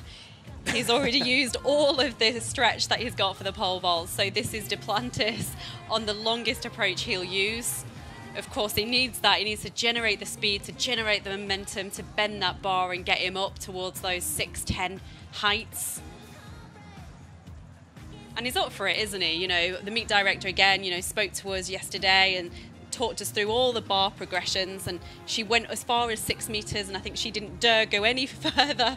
Uh, 6'10, that must just be a height that he thinks, you know, I'd be really satisfied if I could walk away with a 6'10 from today. Time for our final track action of the FBK Games in Hengelo for 2021, and it is the women's one lap over the barriers. And all localise on Femke Bol, the European indoor champion over the flat 400 metres. Just 21 years of age, and this is her first race over the hurdles this season. On the outside, though, is Emma Zapletalova of the Slovak Republic. Her personal best is under the Olympic qualifying standard of 55.4. On her inside, she's got the Olympic silver medalist from Rio 2016, vastly experienced Sara Slott Petersen of Denmark. She's been in the mid 55s this year. Another of the very experienced 400 hurdlers is Anna Ryzhykova of Ukraine. European silver medalist last time round in 2018. Lina Nielsen, I'm sure will have watched and supported her twin sister Laviai run very well in the 400 flat earlier on. Lina Nielsen set a PB of 55.27 this year.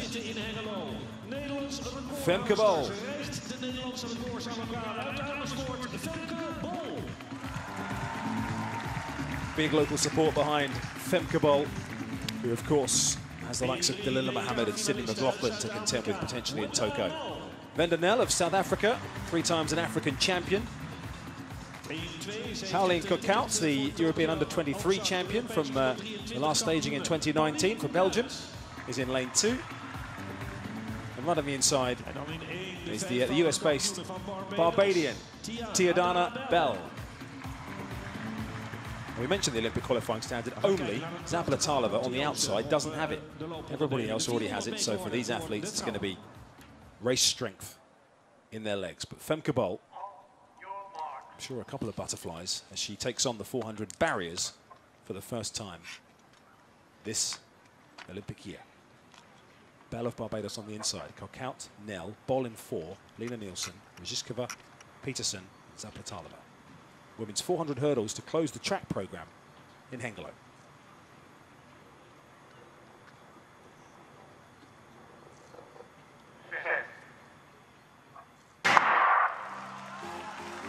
Well, certainly we've seen Femke Bol use her 400 hurdles strength to good effect on the flat. and She was already probably up at that first barrier, closing on Lina Nielsen on her outside. Ryzhykova in those long white socks, three from the left of his shot as well. But Femke Bol, the tallest of the athletes, makes those barriers look very small and has come past Lina Nielsen. Bol, the clear leader at this stage. Petersen, one from the outside, the Olympic silver medalist, also in contention. But it's Bol by probably three or four metres coming into the home straight as the stagger unwinds in her favour. Just got the approach to that hurdle wrong, but manages to steady herself. All on in the chase for second place. Nel of South Africa in lane three is running well, and also Ryzhykova now coming on strong late on. But Femke Bol over that final hurdle. Ryzhykova closing all the time, but Femke Bol will hold on. 54.35 for Femke Bol meeting record as well, which I'm sure will go down very well with the locals taking the mark of Kim Batten from the best part of 25 years ago. And Femke Bol has opened her season over the barriers with 54.33. 50-33. Well, another meet record again for Femke Bol. It looked hard though, that didn't it? She looked absolutely fantastic for seven hurdles, but sometimes these 400 metres and these 400 metre hurdles, you just need to get a couple of races in those legs. Training, of course, you work hard, but nothing can quite create that sense of lactic acid, and um, she'll be feeling it here.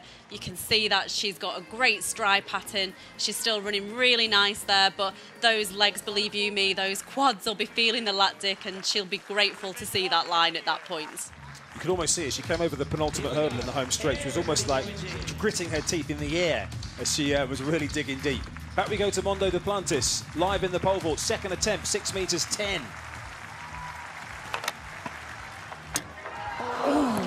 not far away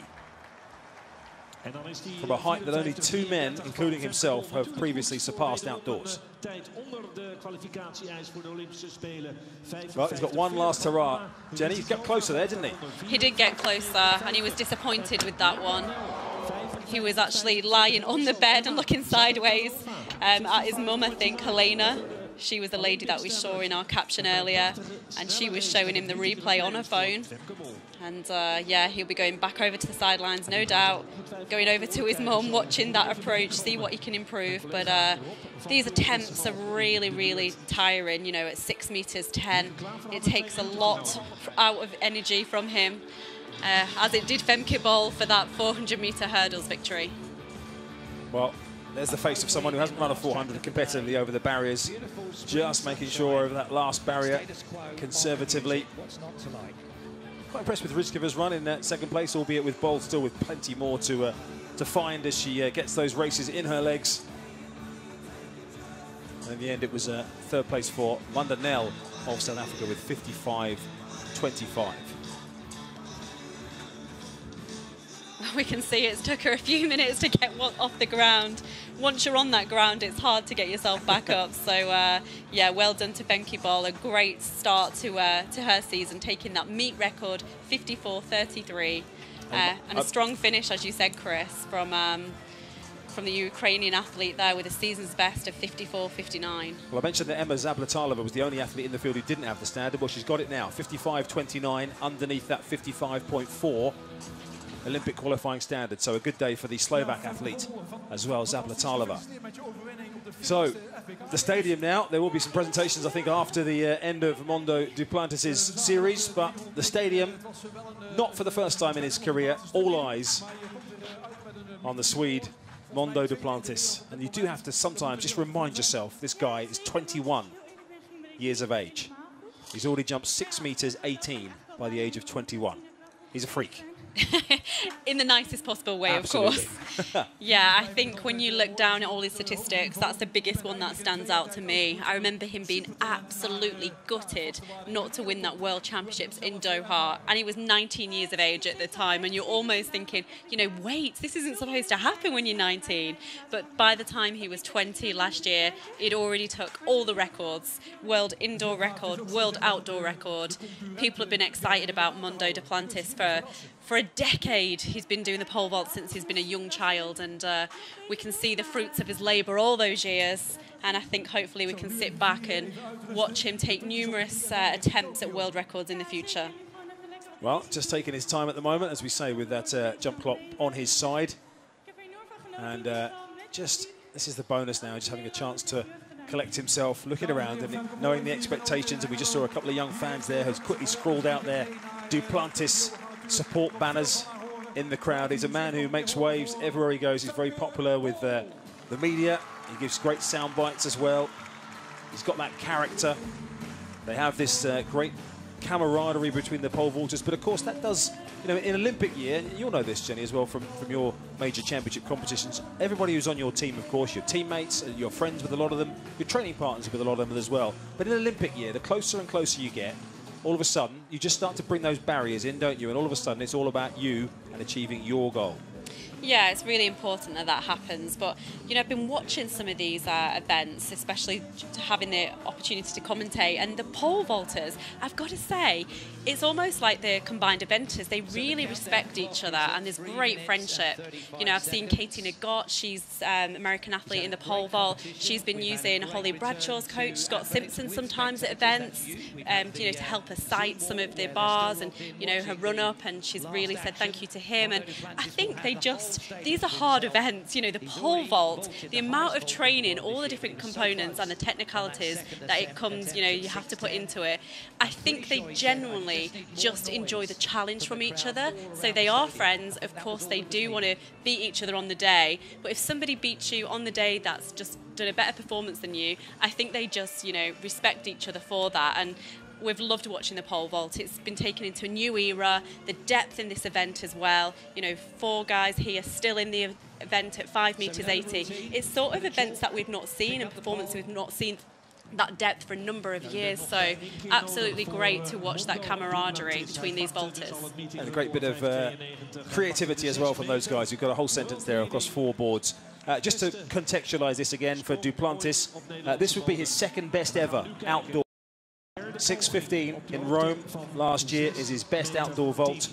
The next uh, eight, nine jumps on the list outdoors all belong to Sergei Bubka. This would equal the sixth best outdoor jump ever for Mondo Duplantis at 6 metres 10. If for some reason you've only just turned on, he was reasonably close with his last attempt. He's become the first man this year, an Olympic year, to clear 6 metres.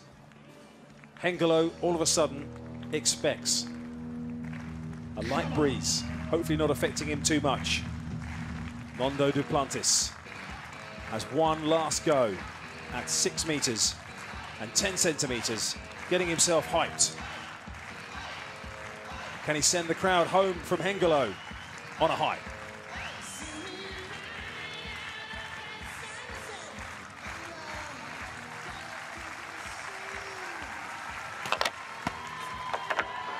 Yes, he can! Huge in Hengelo for Mondo. Six meters 10, his second best outdoor jump ever for the world record holder. Wow! You just sensed it, didn't you? You could see the build up. He was taking some sort of energy gum or something. He was sat in his chair, just, you know, I explained how the energy sometimes drains out of you when you've been attempting these big heights. He just sat back, he was nodding his head, he was enjoying the music, wasn't he? And that was relaxation. A lot of athletes sometimes tense up, especially younger athletes, when they're trying to achieve something really, really difficult. But he was relaxed, he was ready. And look at that great view from the side there. Well, we said he was getting closer, didn't we? First one wasn't particularly close. Second one, a bit closer. And that one didn't even give it a brush. 6'10". If the expectation wasn't already mounting, he's going to put it up. Well, it's all. This is this is now balance, isn't it? This is the balance between being the entertainer, between pushing yourself to see what you've got in the locker, not risking anything. Let's see where he goes with the bar. Surely he's got to go up to an outdoor outdoor world record, isn't he? It's interesting, isn't it, on a season like this? Does he just pack away and think 6'10, I've come away fit, healthy, but I've just heard in the background Geoff Wightman on the commentating in the stadium, 6'19, he's going for a world record. 6'19 for Armand Duplantis which would be an outright world record. We mentioned his best outdoors, his, the world best outdoors of 6 meters 15, his best indoors 6 meters 18. And he is strapping on the kitchen sink and is about to throw it at that bar. And we talk about like camaraderie, Jen, and we talk about, you know, as you said, the, the, the uh, pole vaulters particularly. But a lot of people talk about pole vault being, by the time that clock starts and you get yourself into your pre-vault routine, it's you against the bar as more than you against the other competitors. Yeah, it is. And, you know, we talked about in the 10,000 metres, which feels forever ago now, when we're talking about Sifan Hassan trying to keep that mental kind of dexterity, you know, over that 25 laps. And it's very similar for Mondo now. He needs to just really relax, bring himself down, think about all these technical things that he needs to do. It's him on that runway against the bar, and he's just really challenging himself. seeing how far he could actually, you know, improve that world record by. But um, it's great that Heath actually thinks, I'm here, I'm in shape, I'm over 6'10, I'm going to carry on. So far, this is only the. Uh, So he had a clean card up until he got to six metres. He cleared 550, 74, 86, and 92 at the first attempts. Took two attempts to get over six metres. Having taken that world lead from uh, Chris Nilsen of the USA, but I'm sure I'm sure Sam Kendricks might even be tuned in watching from the USA. This coverage going globally around the world, wherever you are, whatever your time zone you're in. Whether it be uh, in Europe coming up towards uh, late afternoon, maybe in the US in the morning, maybe uh, further afield in uh, Africa well into the evening. Maybe it's the middle of the night. Wherever you are, stop what you're doing because Mondo Duplantis is at it again. 6.19 he's going to go for for a world record. And again, let's bring it all back together. We started the day with a world record, so why don't we just finish one with well? We'll finish with one as well. Well, this is the 40th edition of the FBK Games. Unfortunately, due to the pandemic, this meet did not take place last year, but it's come back with a bang, hasn't it? You know, we've got one world record already, and just that Mondo's in a position to be attempting a world record as well is absolutely fantastic. Well, he was the indoor world record holder since uh, February 2020. Then in uh, September 2020, he broke the 26-year-old outdoor world record, which has stood at 6 meters 14 from uh, Sergei Bubka in 1994 in Sestriere. I'm just looking down the uh, the list of the uh, the top outdoor performances. I'm looking to see if I can see the Netherlands anywhere on there, and I can't. So uh, Netherlands has never seen anything like this. There's ever been a six-meter outdoor jump in the Netherlands, actually, as I scroll further down the world rankings top list. He's taking his time. I wonder how many cracks he'll have at this. I wonder if he'll know after the first one. He's uh, pushing himself. Mentioned two for Obiena, who finished second, by the way, with 5 metres 80, and Vloon, the uh, Dutch athlete who finished third on countback with 580. They were the closest challengers to Mondo Duplantis. And he was quite honest in his press conference. He said, you know, he's, he's, there's been a couple of things that haven't quite been working for him so far when we look at his performances that he's turned in so far outdoors. 590, I mean, it says, you know, 590 is by no means average, but he just felt that a couple of things. He struggled with a couple of the lesser heights earlier in those competitions. Ostrava, he jumped 590. Gateshead in those conditions that we keep banging on about 555 to finish behind Sam Kendricks, but uh, I challenge anybody to jump successfully in those conditions. But as he makes final adjustments to his mark, that is the precision there, look. Drawing pins. We thought it was scientific, Jenny. and I think he moved them about one centimetre. It was so minute, but um, that's what it takes to attempt this sort of um, height. Yellow and blue drawing pins, Swedish national colours. Got a bit of yellow on his pole and his blue Puma uniform as well. But at the moment, it's half of Hengelo and a large amount of you around the world standing by to see if there is another chapter of history to be written at the FBK Games today. As Jenny says, on that 40th anniversary, Armand Duplantis, the world record holder already, looking to improve his own mark. Six meters and 19. What's wrong with him? Too loud. Too loud the music, is it? It's a shame he doesn't get to choose the music, isn't it? I'm sure this wouldn't be his uh, music of choice, but uh, it certainly did him well on the last attempt. I'm sure a man of his standing, if the music was too loud, he could tell him to turn it down. So they're all getting behind him. The whole stadium is his at the moment. Is the whole of pole vault his? Again, 6.19 for a world record. First time. So he takes that as a foul, giving him a bit more rest time because there was only. So sensible, I think. I think sometimes you just don't feel it on the runway. There's no point taking off. There's obviously a huge injury risk if he took off and he wasn't in the right position. So he's done the right thing. Just trying to work out, trying to lip read and see what he's uh, talking to the officials about there at the uh, the pit. He seems to be looking over towards the uh, the stand. It's not Geoff Wightman on the PA that's upsetting him, is it? He's too loud.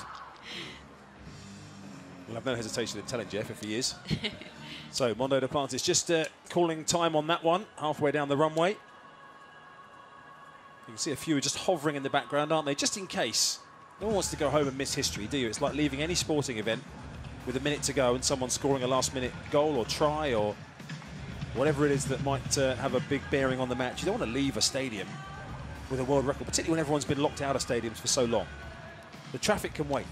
Maar zo te zien helemaal niks een element. Well, it's really nice to see all his uh, competitors as well on the infield. They're all stood up, paying him respect, and they're just wondering whether they can be part of uh, this history and get probably the best view in the whole of the stadium of this world record attempt.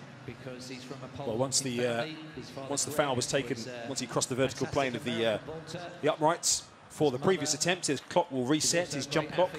If it had stopped halfway down the runway and gone back, as you can see, the clock still got five minutes on that uh, jump clock. But if he'd stopped halfway down, he could have gone back and uh, attempted again if he had enough time remaining. But the vaulters at this particular stage of the competition, when you're asking and stretching your every sinew of your body, you're going to take as much of that time as you possibly can. Yeah, and he's in the fortunate position now where he gets extra time on the clock, of course, because he's the only remaining competitor. So continuing to uh, chunter away is Mondo Duplantis. Live with us here in Hengelo. Reminder, the World Athletics Continental Tour Gold moves across Europe very quickly, not too far actually. We're off to Turku in Finland for the Paavo Nurmi Games on Tuesday. Okay. That one will get underway at uh, uh, in the evening.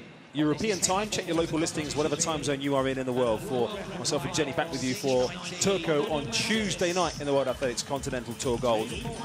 But we are still waiting to see if there is one last hurrah in Hengelo.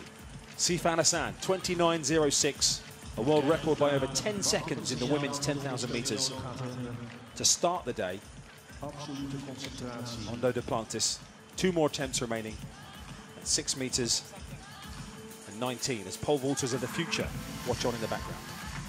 Here we go with the rhythmic clapping. Om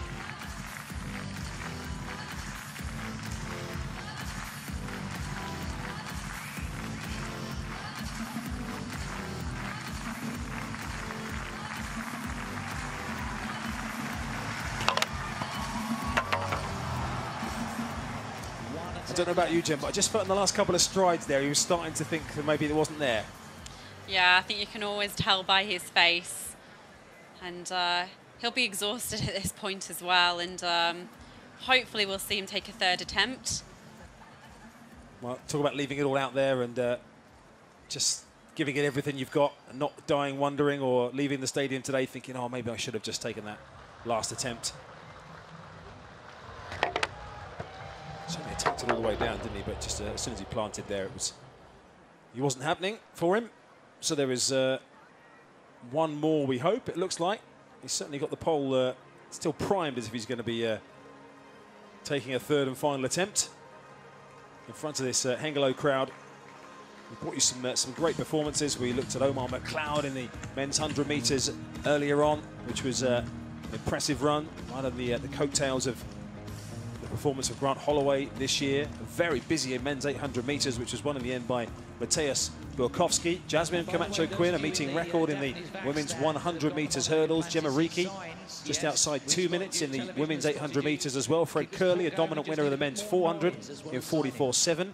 Cynthia Bolingo took the women's 400 ahead of Laviai Nielsen. Jake Whiteman, impressive winner of the men's 15 as well. Dina Asher Smith taking Dafne Schippers' meeting record with 10.92 ahead of Okagbare and a lifetime best for Daryll Neita.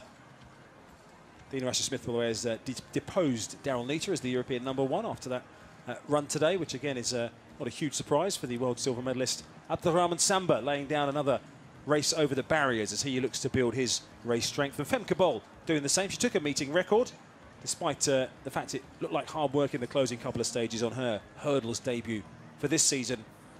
But uh, a sprinkling of Olympic qualifying marks as well, so it's been a beneficial meeting for a lot of athletes in terms of uh, getting those marks that they may well need for their domestic championships, which are coming up in three weeks' time.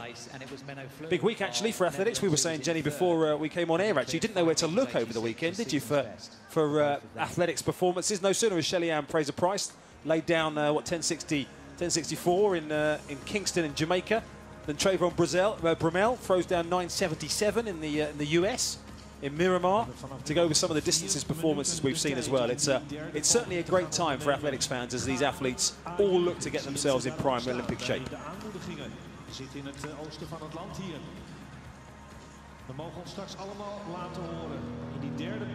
So they switch the music in the stadium for Duplantis. Who prepares himself once more his third and final attempt. for one last go at creating another page in the remarkable Mondo Duplantis story. 21 years of age, already the world record holder, indoors and out.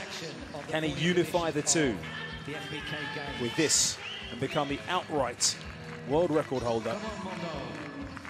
Six meters and 19. Got closer and closer as the attempts at 6'10 went through.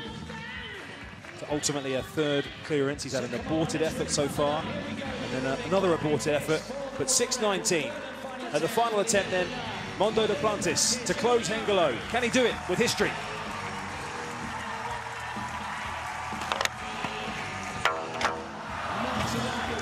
Not this time, unfortunately. Still the hero of Hengelo, I'm sure, Mondo Duplantis, with that performance of 6 metres and 10 centimetres. Only two men in history, including himself, have vaulted higher than that. He takes the victory, and it's much more like the Mondo that we are used to seeing. He goes over 6 metres, becomes the first man this year to do so in Olympic year. His status as pole vault favourite is certainly not affected and is boosted by that as he takes his victory flowers to close our meeting here at the FBK Games. Jenny, have you got a, have you got a highlight to, to close with before we go? Is that it? We've just seen it. Oh, it's probably going to be uh, Hassan's uh, 10,000 metres for me. Just the amount of seconds, you know, almost 11 seconds that she knocked off that, and the way she did it, those first 9K, so economical, and then that staggering 246 last K, that set it up for me. But it's been one of the best meets that we've seen um, in the 40 editions of Hengelo over the years. Yeah, it certainly has its reputation, doesn't it, as uh, the home of fast distance running. And Sifan Hassan, as you quite rightly mentioned, Jenny, with her world record taking over 10 seconds off the mark, joining the likes of Kenenisa Bekele and Haile Gebrselassie, who have set distance world records on this track at the Fanny Blankers-Koen Stadium in Hengelo. Confirmation then of that result. Duplantis has been on the uh, on the board himself for most of the competition, but Obiena taking second, and the home favourite Menno Vloon taking third. You know, it definitely did access points, so definitely hope to be back. So you like it here in Holland, so uh, we hope to see you back here again. The track is good, the track is ready. So another remarkable meeting in the World Athletics Continental Tour Gold. As we said, we'll do it all again on Tuesday from the Paavo Nurmi Games in Turku in Finland. Some great fields lined up for that one as well, live via the World Athletics YouTube channel. Check your local timings and listings for that one as well. For myself, Chris Temple and Jenny Meadows, thanks for your company. It's goodbye.